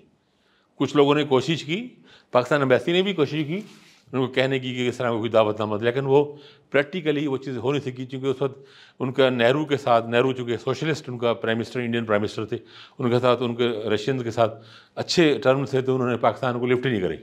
और पचास साल एक प्रोपोगंडा यहाँ पर चलता रहा, एक मित चलती रही जो अब जाके फिर जाके टूटी। अभी भी बहुत से लोग यकीन रखते होंगे शायद ऐसा हुआ है। इस तरह। तो ये जो जर्नलिस्ट होते हैं, जो कॉलम लिखने वाले हैं कॉलमिस्ट को चैलेंज करना चाहिए इन चीज़ों को। और चैलेंज तभी कर सकेंगे जब आपने कुछ पढ़ा होगा ना। अगर आपने सिर्फ़ अपना तजिया, दो या तीन टाक शो देख कर करना है, या सिर्फ़ अखबार की खबरें देख करना है तो फिर तो वो बहुत ही सतही होगा, बहुत हल्का होगा। फिर जब वो, मैं अगर किसी एडिटोरियल पेज का इंचार्ज हूँ, या एडिटर हूँ मैं, मेरे पास ऐसा कॉलम आएगा तो मैं देखूँगा, मैं कहूँगा, मैं ऐसे क्यों छापूँ? क्या ऐसा रीज़न है मैं छापूँ से वो आम सी बातें हैं, वो एक आपकी एक राय है ओपिनियन है। और चूँकि आप आम आदमी हैं, इसलिए आपकी आम राय की हैसियत ही कोई नहीं खास। एक अहम आदमी की ना, बड़े आदमी की, ख़ास आदमी की राय भी अहम होती है। ठीक है ना? एक इवन कोई सियासतदान ना भी है, कोई बड़ा साइंटिस्ट है, वो भी अगर ओपिनियन देगा ना, उसके लोगों को भी एक जज है, कोई बड़ा जज है, कोई चीफ जस्टिस ऑफ़ पाकिस्तान है, या रिटायर्ड चीफ जस्टिस भी है, या कोई भी जो बड़ा अदीब है इवन बड़ा। मुसनसर हुसैन तारड़ साहब हैं तारड़ साहब अदीब हैं फिक्शन निगार हैं पॉलिटिशियन तो नहीं है, लेकिन वो अगर पोलिटिकल ओपिनियन देंगे तो फिर भी इंपॉर्टेंट हो जाएगी क्योंकि बंदा अहम है ना, बड़ा है टॉवरिंग पर्सनैलिटी है। आम आदमी को, एक आम लिखने वाले को अपनी तहरीर से स्पेशल होना है, और तहरीर तब स्पेशल होगी जब उसके अंदर डेप्थ होगी। डेप्थ तब होगी जब आप कुछ पढ़ेंगे मुताल करेंगे, और सिर्फ़ अखबार तक नहीं रहेंगे, किताब तक भी जाएँगे। आपको किताबों की वो लिस्ट बनानी चाहिए कि आपने किताबें पढ़नी है। ज़िंदगी में ना, किताबों, ये इस तरह के काम भी कर लेने चाहिए। किताबों की लिस्ट बनाएँ, बेहतरीन किताबों की, बेहतरीन फ़िल्मों की लिस्ट बनाएँ, बेहतरीन म्यूज़िक की लिस्ट बनाएँ, शायरी के वाले से, बेहतरीन अगर आपको गज़ल से या नज़मों से, उसकी की लिस्ट बनाएँ या किसी से बनवाएँ, या किसी को फॉलो करें या कोशिश करें। और अपने आप को बेस्ट चीज़ों से नवाजें, अपने अंदर डालें। अपने आप रिच करें। ठीक है ना? हम एक, सब, हम से बेशतर लोग, जैसे मैंने कहा ना, आम लोग होते हैं हम। एवरेज ही होते हैं। कम हो बेश, थोड़ा सा ऊपर नीचे होता है। हम अपने आप को स्पेशल एक्स्ट्रॉनरी इन चीज़ों से बना सकते हैं। अब तय करना होता है सिर्फ़ आपने, आज तय कर लें कि मैंने एक आम आदमी के तौर पे, आप एक आम घर में पैदा हुए, आम स्कूल में पढ़े, ठीक है? वो उसमें आपके कसूर नहीं है। आपकी फैमिली के रिसोर्सेज हैं। ठीक है, आपकी फैमिली के रिसोर्सेज होंगे, आपको एच में दाखिला कर मिल जाएगा। आपकी ब्रॉडअप बिल्कुल और और अंदाज में होंगे। आप ग्रामर में, लाहौर ग्रामर में पढ़े होंगे बीकन हाउस में पढ़े होंगे पाकपुर में पढ़े होंगे, और जगहों पढ़ रहे होंगे जीसी में चले जाएँगे, या और जगहों पर सर तो वो उसके अपने, लेकिन आप ये नहीं कर सके, आपके नहीं हो सका समाओ लेकिन ये किसी भी वक्त आप ज़िंदगी में ये फैसला तो कर सकते हैं कि मैंने, अब मैं आम आदमी के तौर पे नो मोर मतलब मैं ज़िंदा नहीं रहूँगा और कम अज़ कम मरूँगा नहीं एक आम आदमी के तौर पर तो वो आपने फैसला करना है। आप फैसला कर लेंगे तो आप आम आदमी नहीं रहेंगे। आप फैसला कर लेंगे, आम लिखने वाले नहीं होंगे। आप आम कालमिस्ट नहीं होंगे। आप एक बड़े राइटर बन जाएँगे, बड़े कालमिस्ट बन जाएँगे, बड़े अदीब बन जाएँगे, बड़े शायर बन जाएँगे। कुछ भी, जो भी ज़िंदगी में काम करना चाह रहे हैं, बड़ा बन जाएँगे। सिर्फ़ आपको वो तय करना है, जिसे मैंने शुरू में कहा, वो ख्वाहिश पैदा करनी है। उस ख्वाहिश को बड़ा करना है। उसकी कीमत अदा करनी है, जो जहर एक एक्स्ट्रा ऑर्डरी जिसे हम सारी बातें कर रहे हैं कि एक्स्ट्रा एफर्ट करनी पड़ेगी, ठीक है? और फिर जब आपने वो एक आपकी लार्जर देन लाइफ आपकी ख्वाहिश हो गई है, उसके लिए फिर आपने, जैसे मैंने कहा कि लेबर अंडर करेक्ट नॉलेज आपने सही डायरेक्शन में जाके पढ़ना है और स्पेशलाइज करना है। अच्छा अब होता ही है, मैं मैगजीन एडिटर के तौर पे मैंने देखा है कि लोग आते हैं, उनके पास वही जिस तरह एक ख़ास पॉलिटिक्स पे इन चीज़ों पे लिख रहे हैं। अब हमें स्पोर्ट्स पर लिखने वाला चाहिए। अब वो किसी के पास उस तरह की स्पेशलिटी है ही नहीं। है तो मैच देखता है वो शौक है उसे रिकॉर्ड याद हैं ये है लिखने की नहीं है उसे लिखना आता नहीं क्योंकि उसे लिखा नहीं था उसका स्लूब नहीं है लिखेगा तो वो बोर लिखेगा खुश्क लिखेगा इमला की गलतियाँ हैं और बहुत सारी हैं लफ्ज़ रेपुटेशन है या, या बाद बहुत एग्रेसिव हमने मैंने कई लोगों को हमने कोशिश की और अच्छा स्पोर्ट्स राइटर बन गया वो और बाकायदा लोगों ने अर्न भी किया। लेकिन वो शुरू में बड़ा अग्रेसिव थे मतलब एक हमारे दोस्त हैं, बड़े अच्छे लिखने वाले, अब हैं। तो वो कहते थे कि ये जो उनकी तहरीर में होता था कि कामरान अकमल ने क्या बगैरती किया बड़ी बगैरती का मुजाहरा किया जैसा हम आम जबान लिखते हैं ना तो उनको फिर बताना पड़ता था कि नहीं, लिखते वक्त आपको एक शाइस्ता ज़बान में तनकीद करनी होती है। ये चीज़ें सीखनी पड़ती है ना। लेकिन वो होता ही है कि आपके पास किसी ख़ास एरिए का माहिर नहीं होता। कुछ आपको एरिया, जिस तरह फ़िल्म पर लिखने वाले, फ़िल्मों पर लिखने वाले अच्छा रिव्यू करने वाले इसको समझने वाले बहुत कम लोग हैं। चंद एक ही हैं अब तो फिर भी फेसबुक ने एक बड़ी एक सहूलत पैदा कर दी है। कई ग्रुप्स ऐसे आ गए हैं जिनको आप फॉलो करते हैं, वहाँ पे आपको अच्छे तबसरे करने वाले लोग मिल गए हैं बहुत सारी।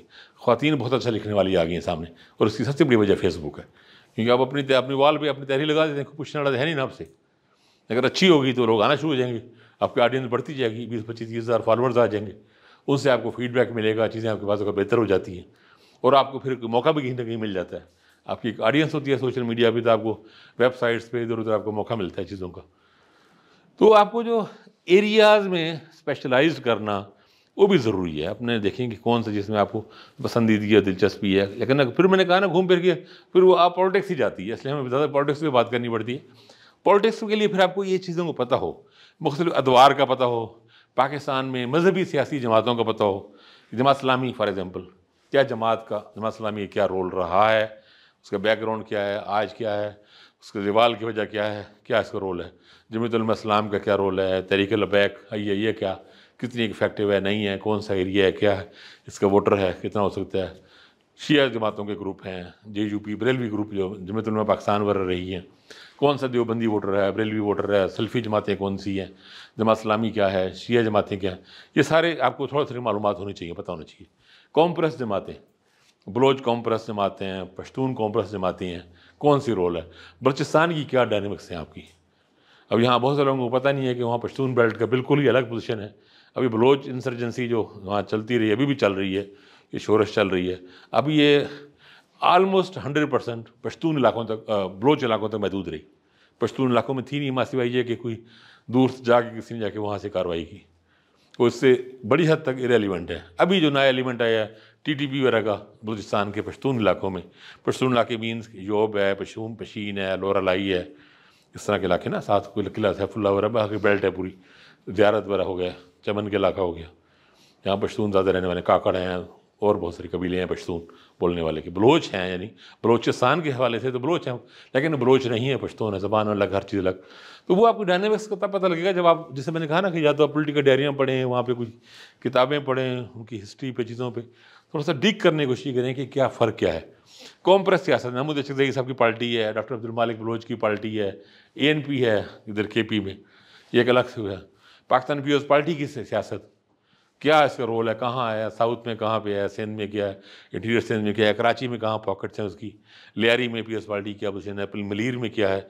आप हलकों को फॉलो कर रहे हो इलेक्शन को फॉलो कर रहे हो, आपको पता होगा ये कराची में मलीर से और लियारी से सीटें जीतती है। और जब हारी है तो क्या वजह बनी? आपको पता है पिछले इलेक्शन में बिलावल भुट्टो हार गए मलियारी से। पी टी आई के वहाँ साहब वहाँ से जीते। लाड़काना में क्या पॉलिटिक्स है? लाड़काना में जे यू आई का वोट है वहाँ पर अच्छा भला वोट है। तो सोमरू साहब खाले सोमरू हुआ करते थे, डॉक्टर खालिद सोमरू। अब उनके साहबजादे हैं राशिद सोमरू पचास साठ हज़ार वोट ले जाते हैं। वहाँ पे लड़का नाम जो गढ़ है, समझा है पाकिस्तान पीपल्स पार्टी का।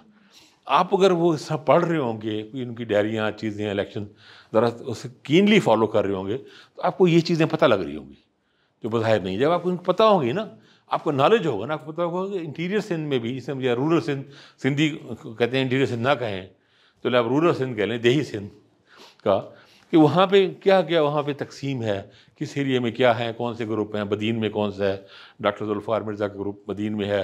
पीर साहब पगाड़ों का, आपका सांगड़ उनका, पीर जो गोट के जो इलाका है, सांगड़ से है, खैरपुर में क्या है? थरपारकर में क्या है? अरबाब अरबाब जो थर के हैं, वो भी, दूसरे ग्रुप्स भी। इस तरह ठट्टा में कौन सा ग्रुप है? शराजी हैं। इधर रोड़ी वरा में गौसपश महर महर फैमिली है जो, अभी भी जी डी ए से जीते हुए हैं गौसपश महर। तो ये सारी चीज़ें ना फिर आपकी फिंगर टिप्स भी होंगी। तो जब आप फिंगर टिप्स भी होंगे, जब आप तजिया करेंगे तो आप ज़रा बेहतर पोजीशन में होंगे समझने की। पंजाब की पॉलिटिक्स में सेंट्रल पंजाब की पॉलिटिक्स में, गुजरावाला में, सियालकोट, नारोवाल, फैसलाबाद, सहीवाल, पिंडी जेलम इस तरह भावलपुर डीजी खान, मुल्तान, सारी लोधरा में। आपको पता होगा क्या वहाँ पे शहीद अब्दुलरमान कांजू ग्रुप। शहीद कांजू ग्रुप से क्या मुराद है? कहीं आपकी इन मुख्तल डायरियों में इलेक्शनों में कहीं ना कहीं आपको पता लगेंगी चीज़ें। कि जहांगीर ग्रुप क्या है वो लोग कितने हैं, कहाँ हैं, क्या पोजीशन है, वहाँ से कौन इलेक्शन लड़ेगा, कौन जीतेगा। तो आपकी फिर आप जब आप उस पर तजिया करेंगे तो आपकी तजिए में खुद ब खुद डेप्थ होगी नई इन्फॉर्मेशन होगी। जब एडिटर पढ़ेगा, वो कहेगा, यार, ये लड़का तो बहुत जानता है चीज़ों को। तो वो उसे छापेगा।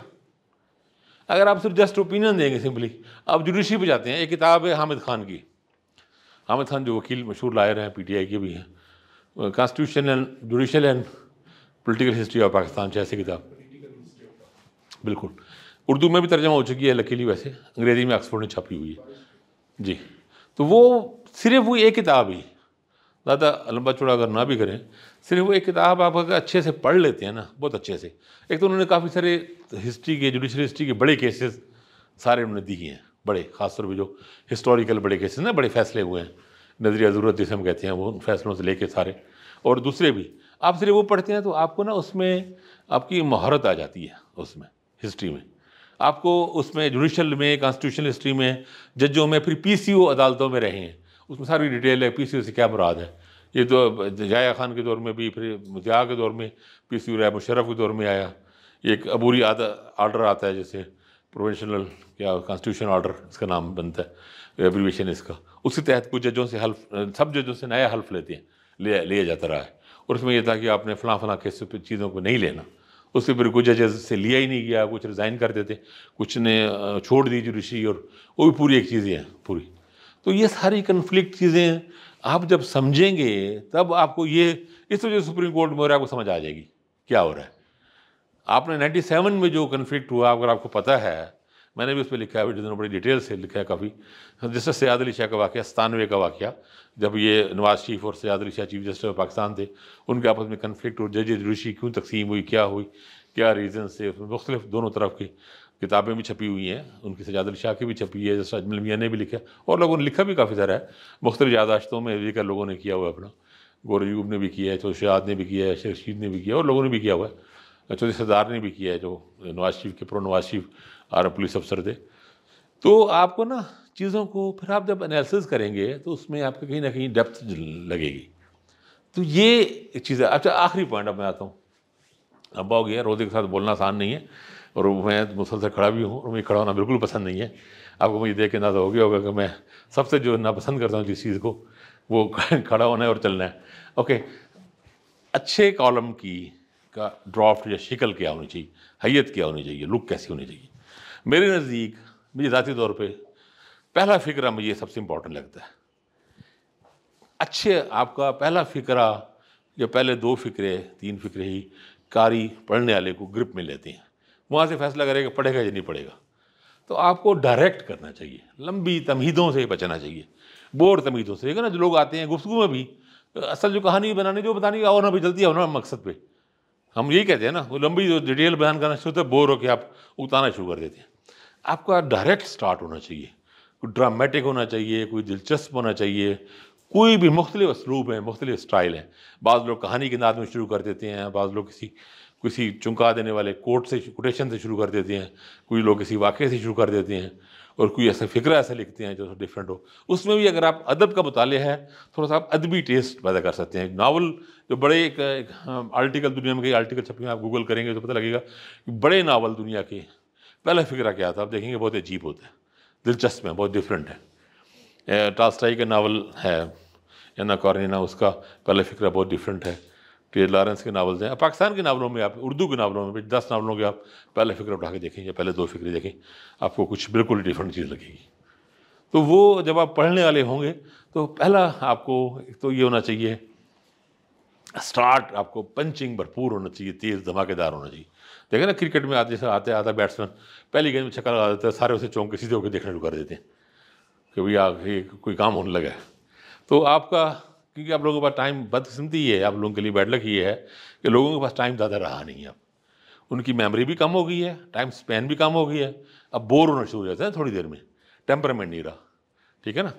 तो वो उकताना शुरू हो जाते हैं जल्दी, क्योंकि आपका स्टेमिना कम हो गया क्योंकि हम पढ़ते नहीं ना, हम ज़्यादातर मुताल आप लोगों का फेसबुक स्टेटस का रह गया इतना सा। या व्हाट्सएप का रह गया, थोड़ा सा लंबा होता है तो कहते हैं, यार तो छोड़ देते तो आपको मुख्तर थोड़ा सा लिखने की, मैं अपने अंदर ये आदत पैदा नहीं कर सका। हमारे अभी भी चौदह पंद्रह सौ वर्ड्स की कॉलम लिखने की आदत है। लेकिन अब हज़ार वर्ड से ज़्यादा नहीं लिखना चाहिए कॉलम। उतना होना चाहिए। फेसबुक इस पर मोबाइल पर जिनको पढ़ना होता है हर एक ने, वो बहुत लंबा नहीं पढ़ा जाता। स्टार्ट छोटा होना चाहिए। छोटे छोटे फिक्रे होने चाहिए और पैरे होने चाहिए ज़्यादा। आप अपने जहन में मोबाइल यूज़र रखें। तीन, चार पॉइंट सत्तर के बाद नया पैरा बनाए। बात को नई बात शुरू करें। और हर इंपॉर्टेंट बात पैरे के शुरू में लिखें। क्योंकि लोग बाज़ गो थ्रू करते हैं। वो पूरा पैरा नहीं पढ़ते, ऐसे पढ़ते आते तो जो आप इंपॉर्टेंट नुकता जिसे आप इस्टेब्लिश करना चाहते हैं हाईलाइट करना चाहते हैं, उसी किसी, अगले किसी पैरे के एंड में ले हैं आप उसे अगर अपने किसी पैरे के आखिर में, पैरे में, दरमियान में खूब लिखेंगे तो वो शायद नुकता नज़रअंदाज हो जाएगा। उसे आपको छोटे छोटे पैरे बनाएँ ताकि पढ़ने वाले की आसानी हो मोबाइल पे। तो स्क्रॉल कर रहे है, एक पैरा ख़त्म हो गया, थोड़ा सा एक ब्रेक मिलती है ना, एक ब्रीदिंग स्पेस होती है सांस लेने का।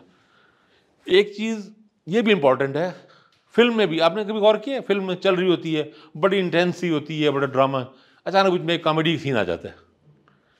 आ जाता है ना, चंद सेकंड्स के लिए, एक मिनट के लिए कोई कॉमिक आ जाता है। इसे कहते हैं कॉमिक रिलीफ वो जाने से किया जाता है। कि आप एक सीरियस आप एक इमोशंस में जाते हैं, फिर आपको थोड़ा सा वो ज़रा रिलैक्स करते हैं। नीचे चले जाते हैं, आप अचानक थोड़ा सा डीप डाउन हो जाते हैं थोड़ा सा डिप्रेस हो जाते हैं या इमोशन में चले जाते हैं आपको थोड़ा सा वो कहते हैं, ऊपर आओ इधर नॉर्मल हो। वो काम कॉमिक रिलीफ देते हैं।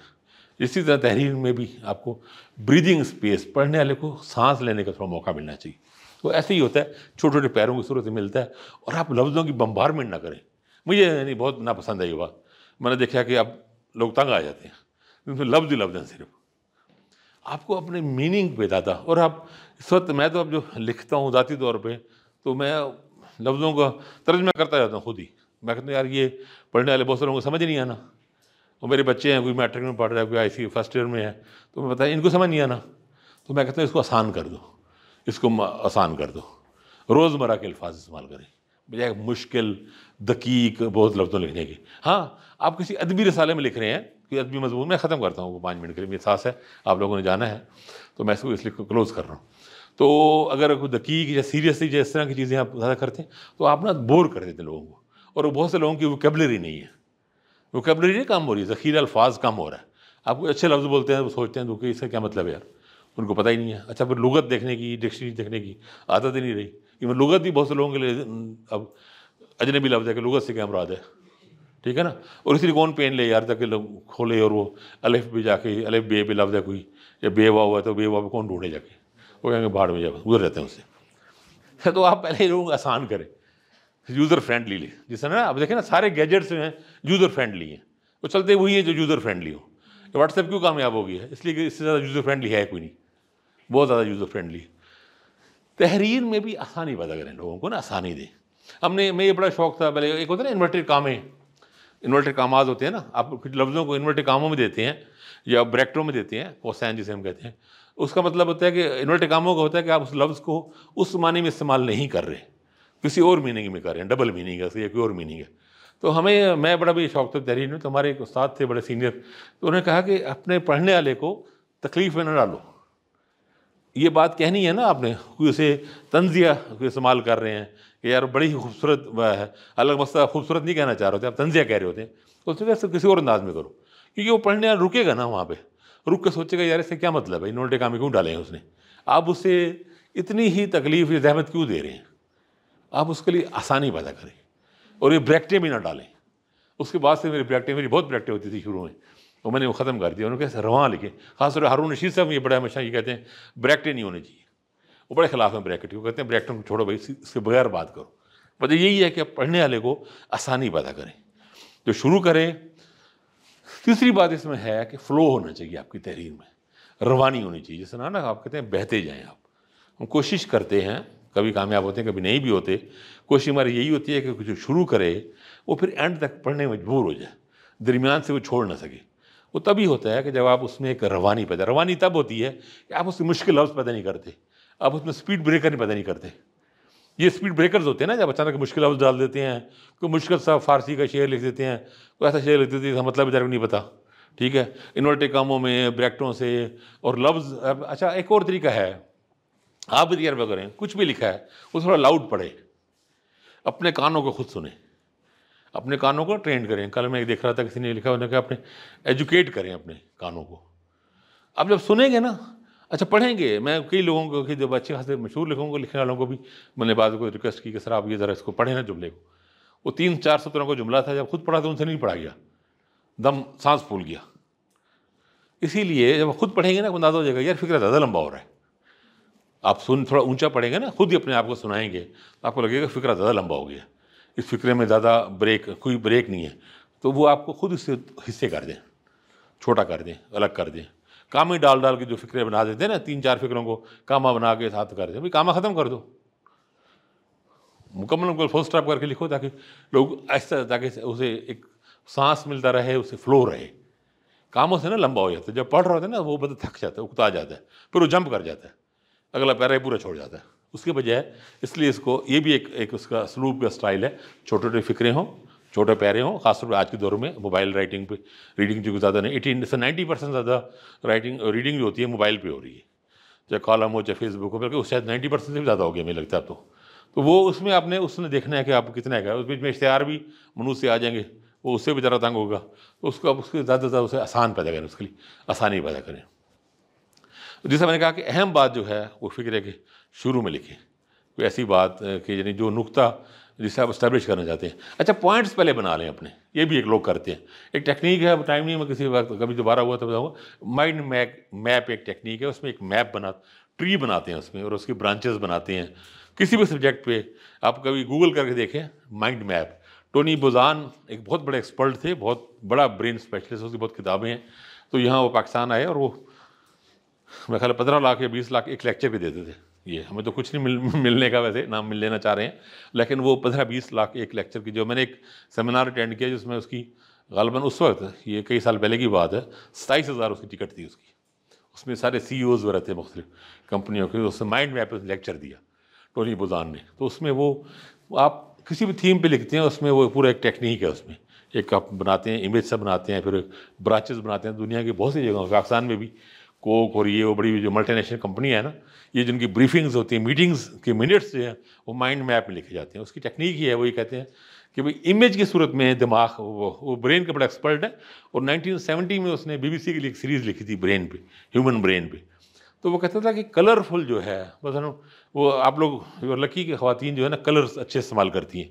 रेड कलर्स और पिंक वो कहता था कलर्स ख़ासतौर पर रेड और पिंक और ये जो शोक कलर्स हैं ना, ये आपकी क्रिएटिविटी बढ़ाते हैं। तो वो कहता था, हम लोगों ने डल, ब्लैक होती ना किताबें हमारी? स्याह लफ्ज़ होते हैं ना सारे। तो कहते हैं, डल और बोरिंग होती है, वैसे याद नहीं होते। कलर्स, वो कहते हैं इंसानी जहन जो है, कलर्स पे एक्टिव होता है। क्रिएटिविटी बढ़ती है। आप देखें खातन क्रिएटिव ज़्यादा होती हैं। अगर तो क्रिएटिविटी और चीज़ों में बात, ज़्यादा इस्तेमाल हो रही होती है, लेकिन बहर होती है क्रिएटिव ना। चीज़ों में, घर में और चीज़ों में, ड्रेसिंग में, चीज़ों में क्रिएटिव होते हैं। तो वो मैंने देखा उसके बाद सारे मार्कर और चीज़ें, ये जो इतने सारे पड़े हुए हैं, यहाँ पे भी वो क्रेन्स होते हैं या क्या, वो सारे रेड और पिंक और उसकी शर्ट्स भी इस तरह कहते हैं क्रिएटिविटी बढ़ाते हैं। दूसरा वगैरह कहता था ब्रेन जो है, वो इस तरह वेव की शक्ल में चीज़ों को याद रखता है और इमेज याद रखता है मेमोरी का। आज की जो है ना, हमारी गुफ्तु है ये। इसके आप अगर आप एक नज़र डालें और इसे एक इमेज के तौर पर एक तस्वीर के तौर पर अपने जहन में सेव करें तो वो काफ़ी लंबा अर्सा रह जाएगी। लफ्ज़ों में से नहीं रहेगी। ब्रेन जो है, मेमोरी जो है शिकल में करता है तो मेरे कहने मकसद ये था कि ये उसमें माइंड मैप टेक्निक थी, वो भी अगर आप थोड़ा सा पढ़ेंगे तो मिल जाएगी। माइंड मैप बने हुए मिल जाएँगे। फ्री भी हैं सॉफ्टवेयर भी हैं। तो वो आपको पॉइंट्स बनाना आसान हो जाते हैं। किसी भी मौजूद लिखना चाह रहे हैं, नहीं तो आप वैसे पॉइंट बना लें कुछ। तो और आपका ये करें कि आपने एक अंदाज़ा कर लें कि यहाँ से मैंने स्टार्ट भी करना है, उसको मैंने मिडल हिस्सा भी करना है और एंड भी करना है। एंड में आपकी फाइनल पंचिंग लाइन आपको अच्छी बनानी चाहिए। पहले जुमले पे और आखिर पे ज़्यादा थोड़ी मेहनत करनी चाहिए। क्योंकि उसने इम्पैक्ट डालना है ना आप पे। पढ़ने वाले पे फ़िक्र ऐसा ज़ोरदार होना चाहिए। थोड़ी सी उसे मेहनत करें, सोचें क्या मुख्तलिफ़ अंदाज से फ़िक्रों करके। तो वो उसमें आपने, जो भी आपने लिखना है, आपका जो थीम है, वो सारा उसमें कंप्लीट हो जाए। वो तब होगा जब आपने पॉइंट्स बनाए होंगे। आपने ये ना हो कि लब्बा ना हो जाए। तो आपको पॉइंट्स बना के ये चीज़ें कर, ये भी आपको एक अच्छे कॉलम में आपके लिए आसानी हो जाती है पैदा। बाद ये होता है, जब आप रेगुलर लिख रहे होते हैं, बहुत सारे लिख रहे होते हैं तो फिर आप चीज़ें रिपीट भी करते हैं। लेकिन वो तब आप, तब अफोर्ड कर सकते हैं जब आप बड़े नाम बन जाएँ। कोई बड़े राइटर होंगे, हसन निसार साहब होंगे तो उनके कॉलम जो भी लिख देंगे, वो पढ़ा जाएगा। और एडिटर ने, अखबार ने रोकना नहीं है। लेकिन उससे पहले जो उनको स्ट्रगल के इतने पचास साल लगे हैं, चालीस साल लगे हैं, वो फिर रहे पीछे पीछे उनकी मेहनत है। और उसमें उन्होंने नाम और जगह और शनाख्त बनाई है। तो आप लोगों ने चूँकि ज़ीरो से स्टार्ट करना है तो एडिटर के लिए बहुत आसान है आपकी तहरीर उठा के फेंकना या रिजेक्ट करना या कुछ भी, या पढ़ने वाले के लिए आपको फेसबुक पर लगाते हैं वो गुजर जाए, ना पढ़े, इग्नोर कर दे। तो आपको उसमें स्पेशल चीज़ें डालनी होगी। तो स्पेशल चीज़ें इस तरह ही हैं। कोई नई इन्फॉर्मेशन दें, कोई नई चीज़ दें, कोई नए तजिया दें। अच्छा देखें कुछ भी हमारे एक दोस्त हैं अच्छे मारूफ फेसबुक ब्लॉगर हैं, कुछ जगहों पे लिखते भी हैं, करते भी हैं। उन्होंने एक दिन तय किया कि मैंने इंटरनेशनल प्रेस पढ़ना है। उन्होंने इंटरनेशनल प्रेस पे बहुत से अखबार देखना शुरू कर दिए, बाहर के, तुर्की के इंडियन अखबार, अमरीकी, बरतानवी इवन इसराइल के अखबार डेली वो कहते हैं दो, तीन, चार घंटे देखता हूँ, और उसमें उन्होंने छोटी छोटी पोस्टें बनाना शुरू की। वो देखते उनकी अलग से शराख्त बन गई, उनको काम मिलना शुरू हो गया। कई जगहों ने, कई कंपनी ने उनको, कोई आप कंसल्टेंसी बना दें रीजनल रिपोर्ट बना दें, और आप इतने यूरो ले लें, इतने डॉलर ले लें।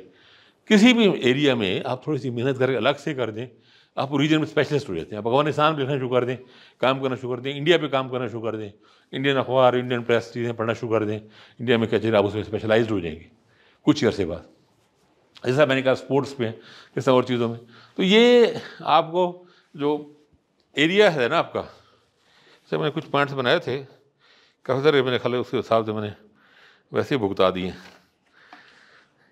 अच्छा एक बात जो बहुत लोग कहते हैं, वो ये है कि मुर्दा ज़बान ना लिखें, डेड लैंग्वेज ना लिखें। वही मैंने कहा, कलीशे वाली ज़बान जिसे है ना कलीशे भी आप अलग अलग से मुझे समझाना पड़े। घिसी पिटी बातें ना हो।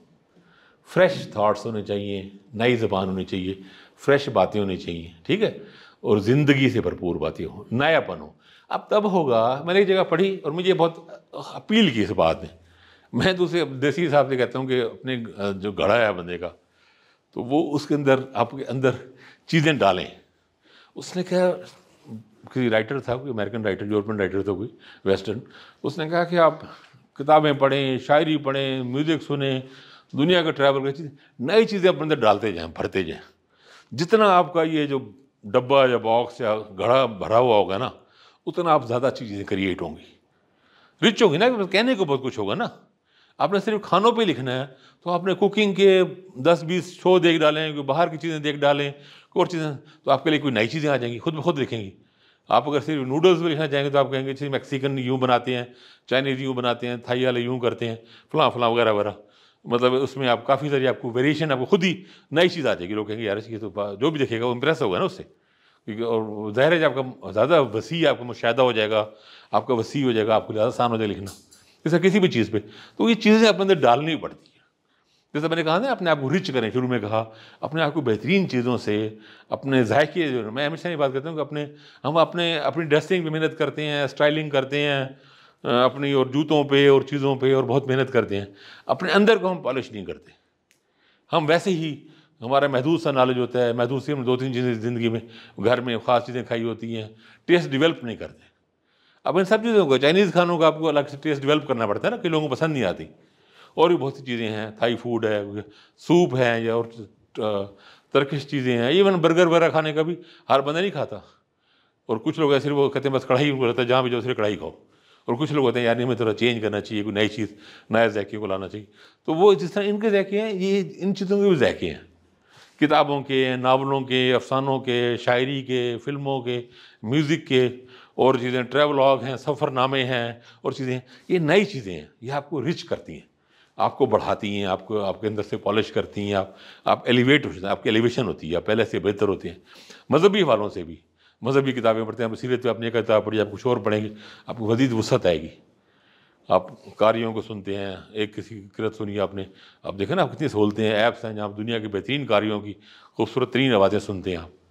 नातें सुनते हैं, मुख्तलिफ़ वराइटी की और चीज़ों की आप नशीद वो कहते हैं अरबों की, और सारे मुख्तलिफ़ जो जो आपकी नई नई चीज़ें, आपकी वेरिएशन आपकी बढ़ेगी, आपका आपका मज़ा बढ़ेगा, आपका टेस्ट डिवेल्प होगा, आप चीज़ें बेहतर होंगी। तो अब आप आम आदमी नहीं रहेंगे। एवरेज नहीं रहेंगे। आप बेहतर हो जाएँगे। अच्छा उससे और कुछ नहीं तो आपकी चीज़ों को ना इंजॉय करने की, लुत्फ उठाने की सलाहियत बहुत बेहतर हो जाएगी। आपको खुद मज़ा आना शुरू हो जाएगा। एक तो है ना कि आप उसको प्रैक्टिकल सम्राट मिलेंगे। आपको लाइफ में मिलेंगे, आपको उसकी कहीं पर इकॉनमी की सूरत में मिलेंगे, कहीं आपको शनाख्त की सूरत में मिलेंगे, कहीं आपको नुमाया होने की सूरत में मिलेंगे, कहीं आपको अहम होने की सूरत में मिलेंगे, आपकी चीज़ें होंगी। लेकिन इसके साथ साथ आप अपने सेल्फ में भी खुद भी अपने आप को बेहतर कर लेंगे। आप मज़ा लेना शुरू कर देंगे, आप इंजॉय करना शुरू कर देंगे, आपकी इंजॉय करने की हिस्स बेहतर हो जाएगी। ठीक है? ये बस बात, एक बात मुझे जो अच्छी लगी थी, काफका का, जो मैंने बताया था बहुत मशहूर सिम्बॉलिक राइटर है, आप लोगों किसी को अगर मौका मिले तो काफका के अफसाने पढ़े। उनके ख्वाब हैं काफका की किताबें छपी हुई हैं। बहुत मुख्तलिफ़ किस्म काम है। काफका कहता है कि मुतालिया वो कुल्हाड़ा है, जिसे आप अपने अंदर के फ्रोज़न जो आपका सी है ना जो, मंजमद सी बर्फ़ को तोड़ते हैं। यानी मुताले से आपके अंदर वो चीज़ें टूटती हैं और फिर वो, देखे ना सर्दियों में जिस तरह झीलों पर एक बर्फ़ जम जाती है ना और ख़ासतौर समंदरों में, बहुत जगहों पे। नीचे वो पानी, वो गर्म, वो सब चीज़ें, मछलियाँ होती हैं अगले नहीं पता होता। देखने वाला समझ रहा होता है ये तो सिर्फ़ बस एक पत्थर की वो बर्फीली एक तह है। लेकिन जैसे टूटती है, फिर आपकी रियल लाइफ और चीज़ें बहुत सारी सामने आती हैं। तो आप भी जब उसको थोड़ा सा तोड़ेंगे ना तो आपके अंदर की बहुत सी चीज़ें बाहर निकलेंगी। ठीक है? तो मेरा ख्याल है, ये बुनियादी चीज़ें मैंने आपको कर ली हैं। एक चीज़ जो है, जो मैं बहुत ज़िक्र करता हूँ वो इसका अगरचे कॉलमिस्ट बनने से कम है। वो डे ड्रीमिंग है। अब अपने आप जैसा हमारे लोग बहुत सारे, अब तो ये बहुत अच्छे कंसेप्ट हैं जो आ गए हैं, पहले नहीं थे। कि आप पढ़ें भी और कुछ बड़ा बनने का ख्वाब भी देखें। चीज़ों को अपने आप को एक बड़ा बनेगा। जिस तरह शुरू में मैंने बात की कि आप अपने अपनी ख्वाहिश को बड़ा करें, उसको लिमिट बढ़ाएँ। मैंने एक दफ़ा इमरान खान की एक बात पढ़ी। अब्दुल रज़ाक में जिसको क्रिकेट से दिलचस्पी हो तो हमारे बेहतरीन ऑलराउंडर रहे हैं। बहुत अच्छे छक्के मारने वाले और बॉलर भी अपने मीडियम पे सर थे कर चले गए ज़बरदस्त हिटर थे और पाकिस्तान के बेस्ट ऑलराउंडर थे।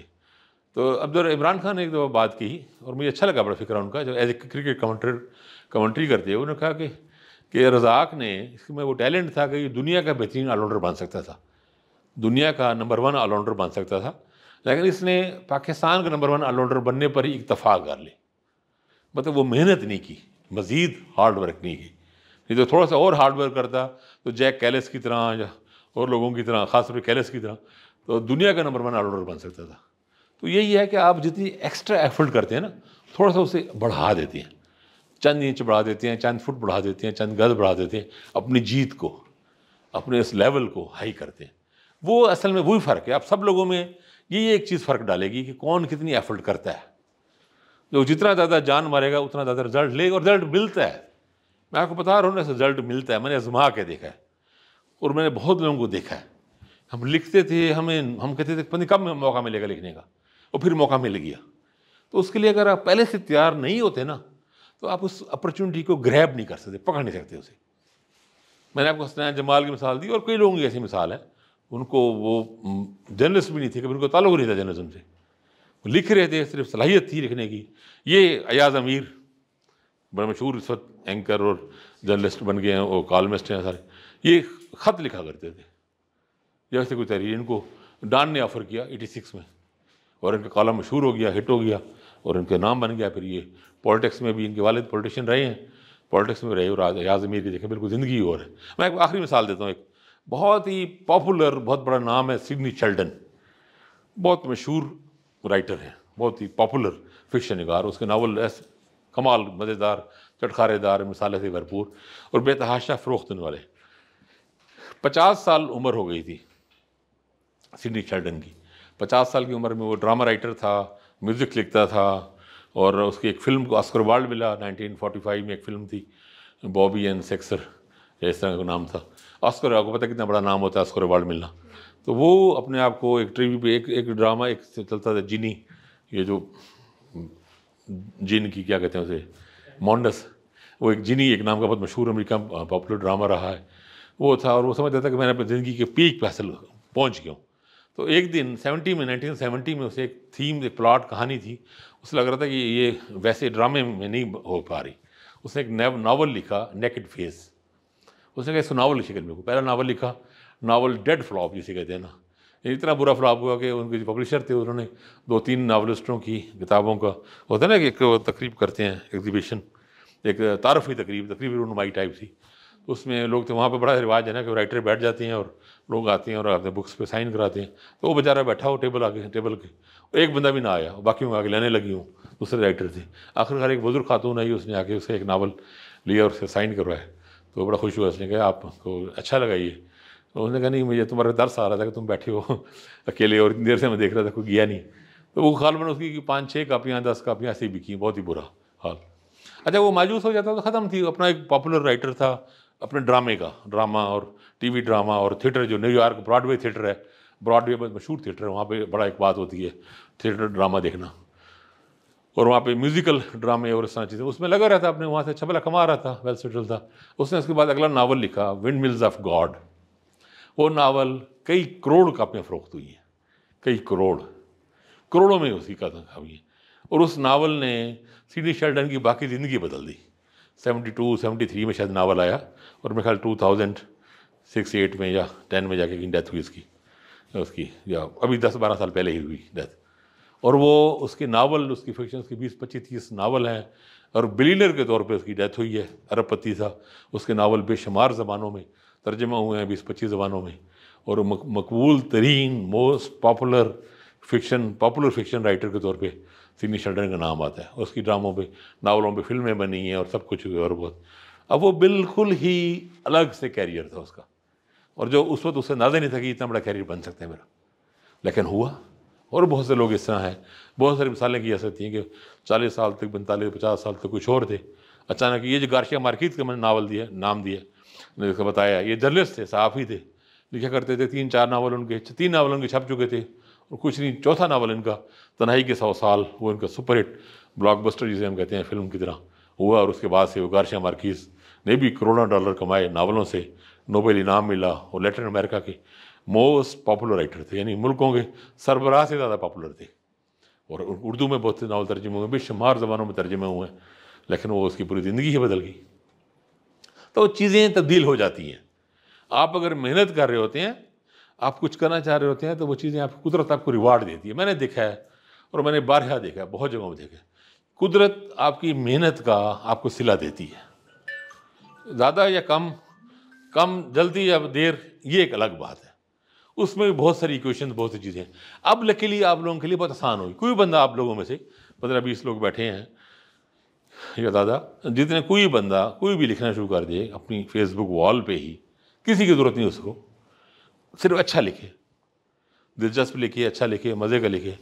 इस बमुश्किल छः महीने, आठ महीने, साल के अंदर, कम अज़ कम उसके बीस, पच्चीस, तीस हज़ार फॉलोअर्स बन जाएँगे उसकी। उसकी कोई ना कोई वेबसाइट उसके, रब्ता कर रही होंगी ये लोग उसके।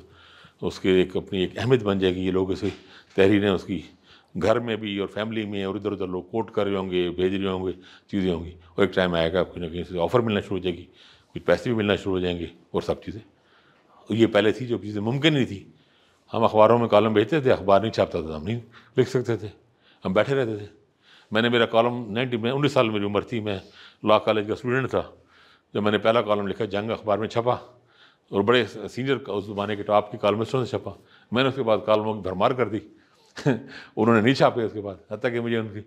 एक आध छापा उन्होंने, फिर मेरे, उनके रीडर से मेरी बात हुई, उन्होंने कहा, भाई, हमारे पास तो बड़े कालमिस्ट हैं सारे तो हमारे पास स्पेस मिलती तभी छापेंगे ना। अच्छा मैं वो नौजवान जिस तरह होता है, जोश मैंने कहा, जी, आप, वो एक दिन उस ज़माने को इवेंट पोलिटिकल हुआ था। मैंने कहा, इस पर सबने लिखा होगा, मैंने भी लिखा आप मुझे पढ़ के देखिए, अगर उनसे बेहतर हो, जो आपके बड़े बड़े सहाफ़ियों से बेहतर हो तो आप लिखें, छापें। बराबर हो, तब भी आप ना छापें। उन्होंने कहा, नहीं बेटा, ऐसे नहीं होता। हमारे जो बड़े राइटर हैं सारे, उनको हम पेड हैं और उनकी हम चीज़ें छापनी होती हैं। तो फिर उन्होंने मुझे मशवरा दिया कि आप अगर इस आना चाहते हैं तो आप जर्नलिस्ट बने। आप इस जर्नलिज्म की तरफ़ फुल टाइम इसे प्रोफेशन बनाएँ, आपके लिए आसानी पैदा होगी फिर मैंने ऐसा ही किया और फुल टाइम का मतलब कहना ये था कि बहुत देर से जगह मिलती थी और बाद नहीं मिलती थी।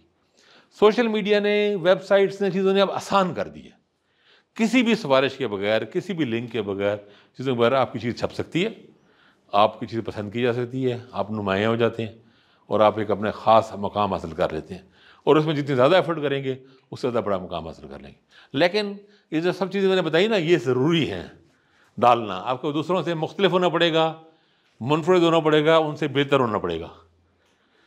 कुछ हो तभी लोग पढ़ेंगे ना। किसी के पास वक्त किसी के पास नहीं है। आप लोग भी फेसबुक जाते होंगे, अगर मेरी चीज़ पढ़ेंगे किसी और पढ़ेंगे, वो अच्छी लगेगी तो पढ़ेंगे ना। ये तो छोड़ देंगे। तो ये सब चीज़ें इसी का साथ हिस्सा है। मेरे ख्याल मैंने खुद इतनी लंबी गुफ्तु फरमा दी कि आप लोगों का कोई कोई सवाल जवाब टाइम मेरे बचा ही नहीं। या कोई है कोई अगर बात करना हो तो मुख्तर कर लेते हैं। जी। थैंक यू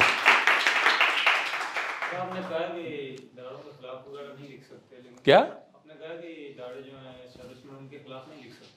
किसी तरीके से लिख सकते हैं आप हाँ, क्यों नहीं लिख? तरीके से लिखें। बच बचा के लिखें ना।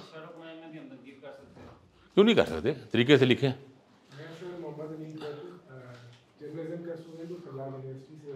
अच्छा।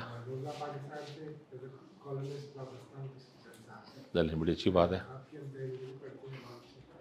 सवाल आपसे ये था कि क्या कॉलम लिखने के लिए कि मखसूस उम्र दरकार के लिए चालीस या पचास साल कोई उम्र दरकार कोई उम्र दरकार नहीं। अब तो कुछ नहीं बची। चंद माह पहले बड़े राइटर से मिला तो उन्होंने कहा कि मैंने पचास साल की उम्र में जाके जगह लिखना शुरू किया, आपको भी पचास साल की उम्र देखें मैंने जब लिखना शुरू किया, मुझे भी ये मशवरा दिया गया, ठीक है? मेरी उम्र तीस बत्तीस साल थी। मैंने अपनी किताब में ज़िक्र किया पहली किताब में तो मैंने उनको कहा पड़े सीनियर साहब ही थे। मैंने कहा, जी, देखें, आप लोग लिखते हैं, हम आपके लिखे मुतमिन नहीं हैं।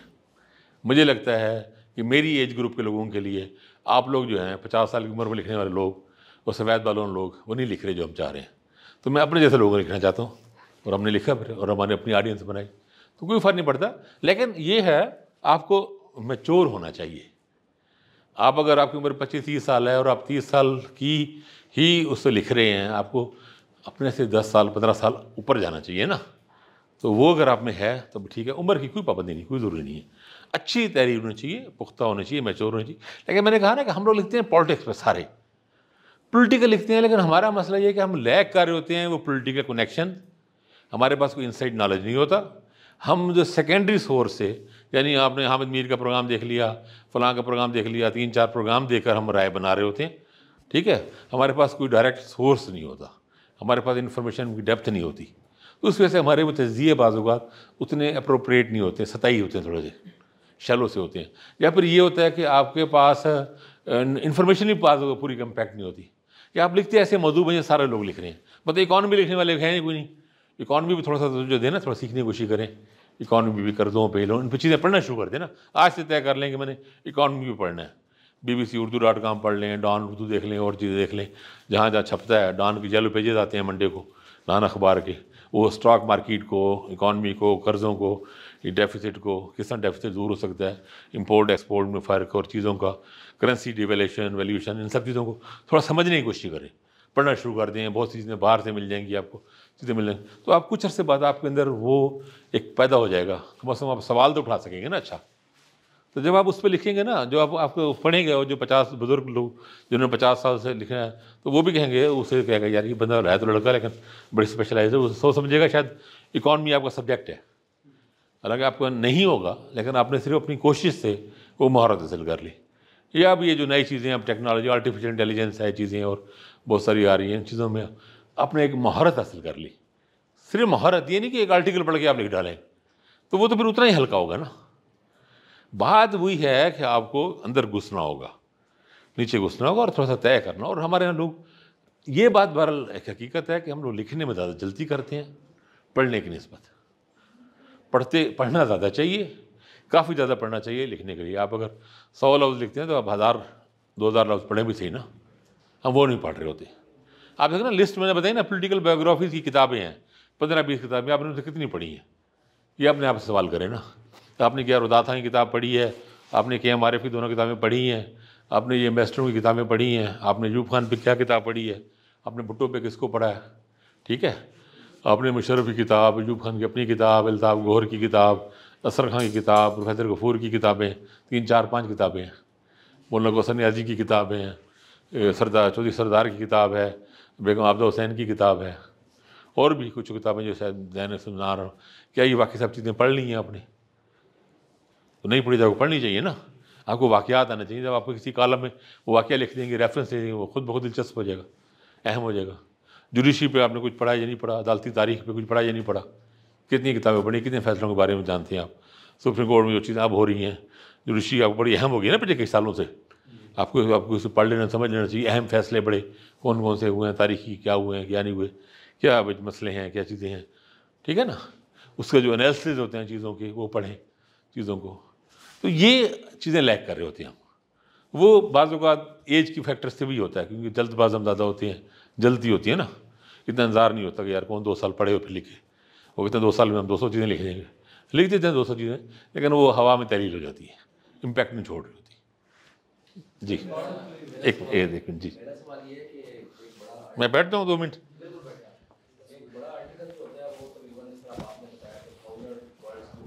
कॉलम हाँ। जी। बिल्कुल कर सकते हैं।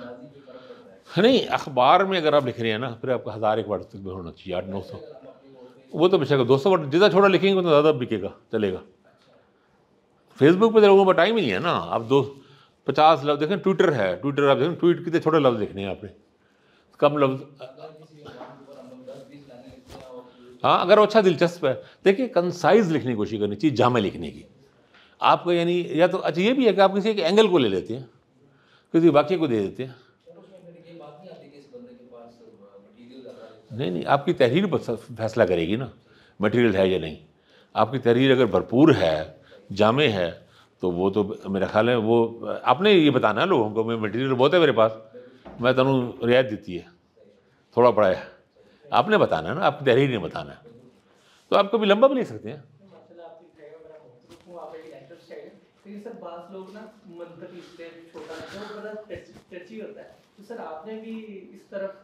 छोटा लिखने का। तो नहीं कॉलम अखबार में जो कॉलम का ना एक खास स्पेस है। उसमें इतना छोटा लिखूँगा तो वो कहाँ फिट होगी? लेकिन कुछ लोग बहुत लिखते हैं बहुत मन आपने भी सर फलसफा लिखने की कोशिश की है ऐसा? हाँ, नहीं मैंने वैसे ज़्यादा नहीं किया ट्राई। कभी कभी लिख भी देता हूँ थोड़ा सा एक ना बड़ी मशहूर जुमला है आपने पढ़ा होगा किताबों में।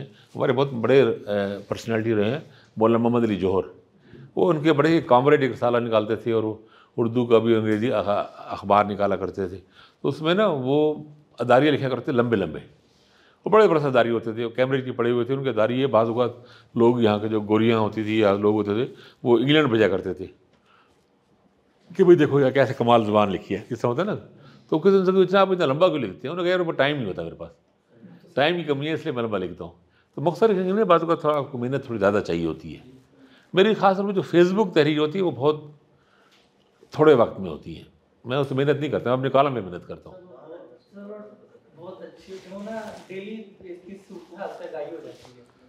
बस वो कोशिश करते हैं थोड़ा सा जी।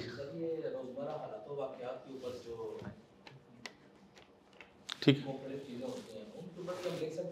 हर चीज़ भी लिख सकते हैं जो इस पर दिल जाए आप आप कुछ बात कर रहे थे?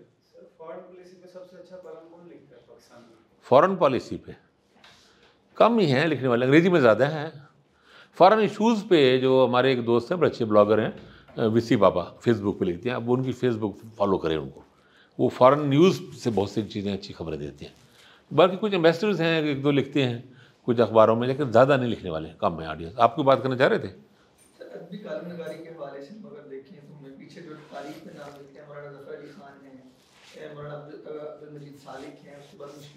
तो जो जी तो कम हो गए असल में ना असल में देखें जो इतनी मुश्किल है फ़िकाया कॉलम नवीसी या अदबी इस ख़ास अंदाज में। मुश्किल भी है और तो उसकी थोड़ी सी डिमांड भी शायद कम हुई है। ये सारा डिमांड एंड सप्लाई वाला रूल ही है। पोलिटिकल कॉलम की ज़्यादा डिमांड है तो पोलिटिकल कॉलम ज़्यादा पढ़ा जाता है और दूसरा काम लिखा जाता है। बस वो फिर नलायकी आ गई है ना अखबारों में भी जल्दी आ गई है बहुत ना।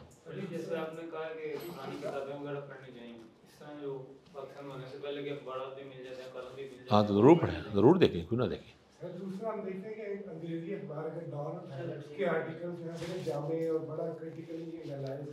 यार असल में ना देखें चीज़ों की कीमत एक तो वहाँ बहुत से लोग प्रोफेशनल लिखने वाले होते हैं अगर डायर सेक्रेटरी है कोई और इकानमिस्ट चीज़ें हैं फिर उनको पे भी बहुत अच्छा किया जाता है। ये भी चीज़ें हैं। और फिर अंग्रेज़ी की अपनी एक वो ख़ास एक क्लास भी है वहाँ अक्सर वैसे वहाँ पर जो ओपेड कॉलम जो होते हैं ना ख़ास तौर पर वो प्रोफेशनल्स होते हैं बड़े सीनियर लोग। कोई सीनियर ब्यूरोक्रेट है कोई इकोनॉमिस्ट है कोई इंजीनियर है कोई अपने शोबे का कोई एक्सपर्ट है तो एक्सपर्ट लिखिएगा तो ज़ाहिर उसकी बात दूसरी है।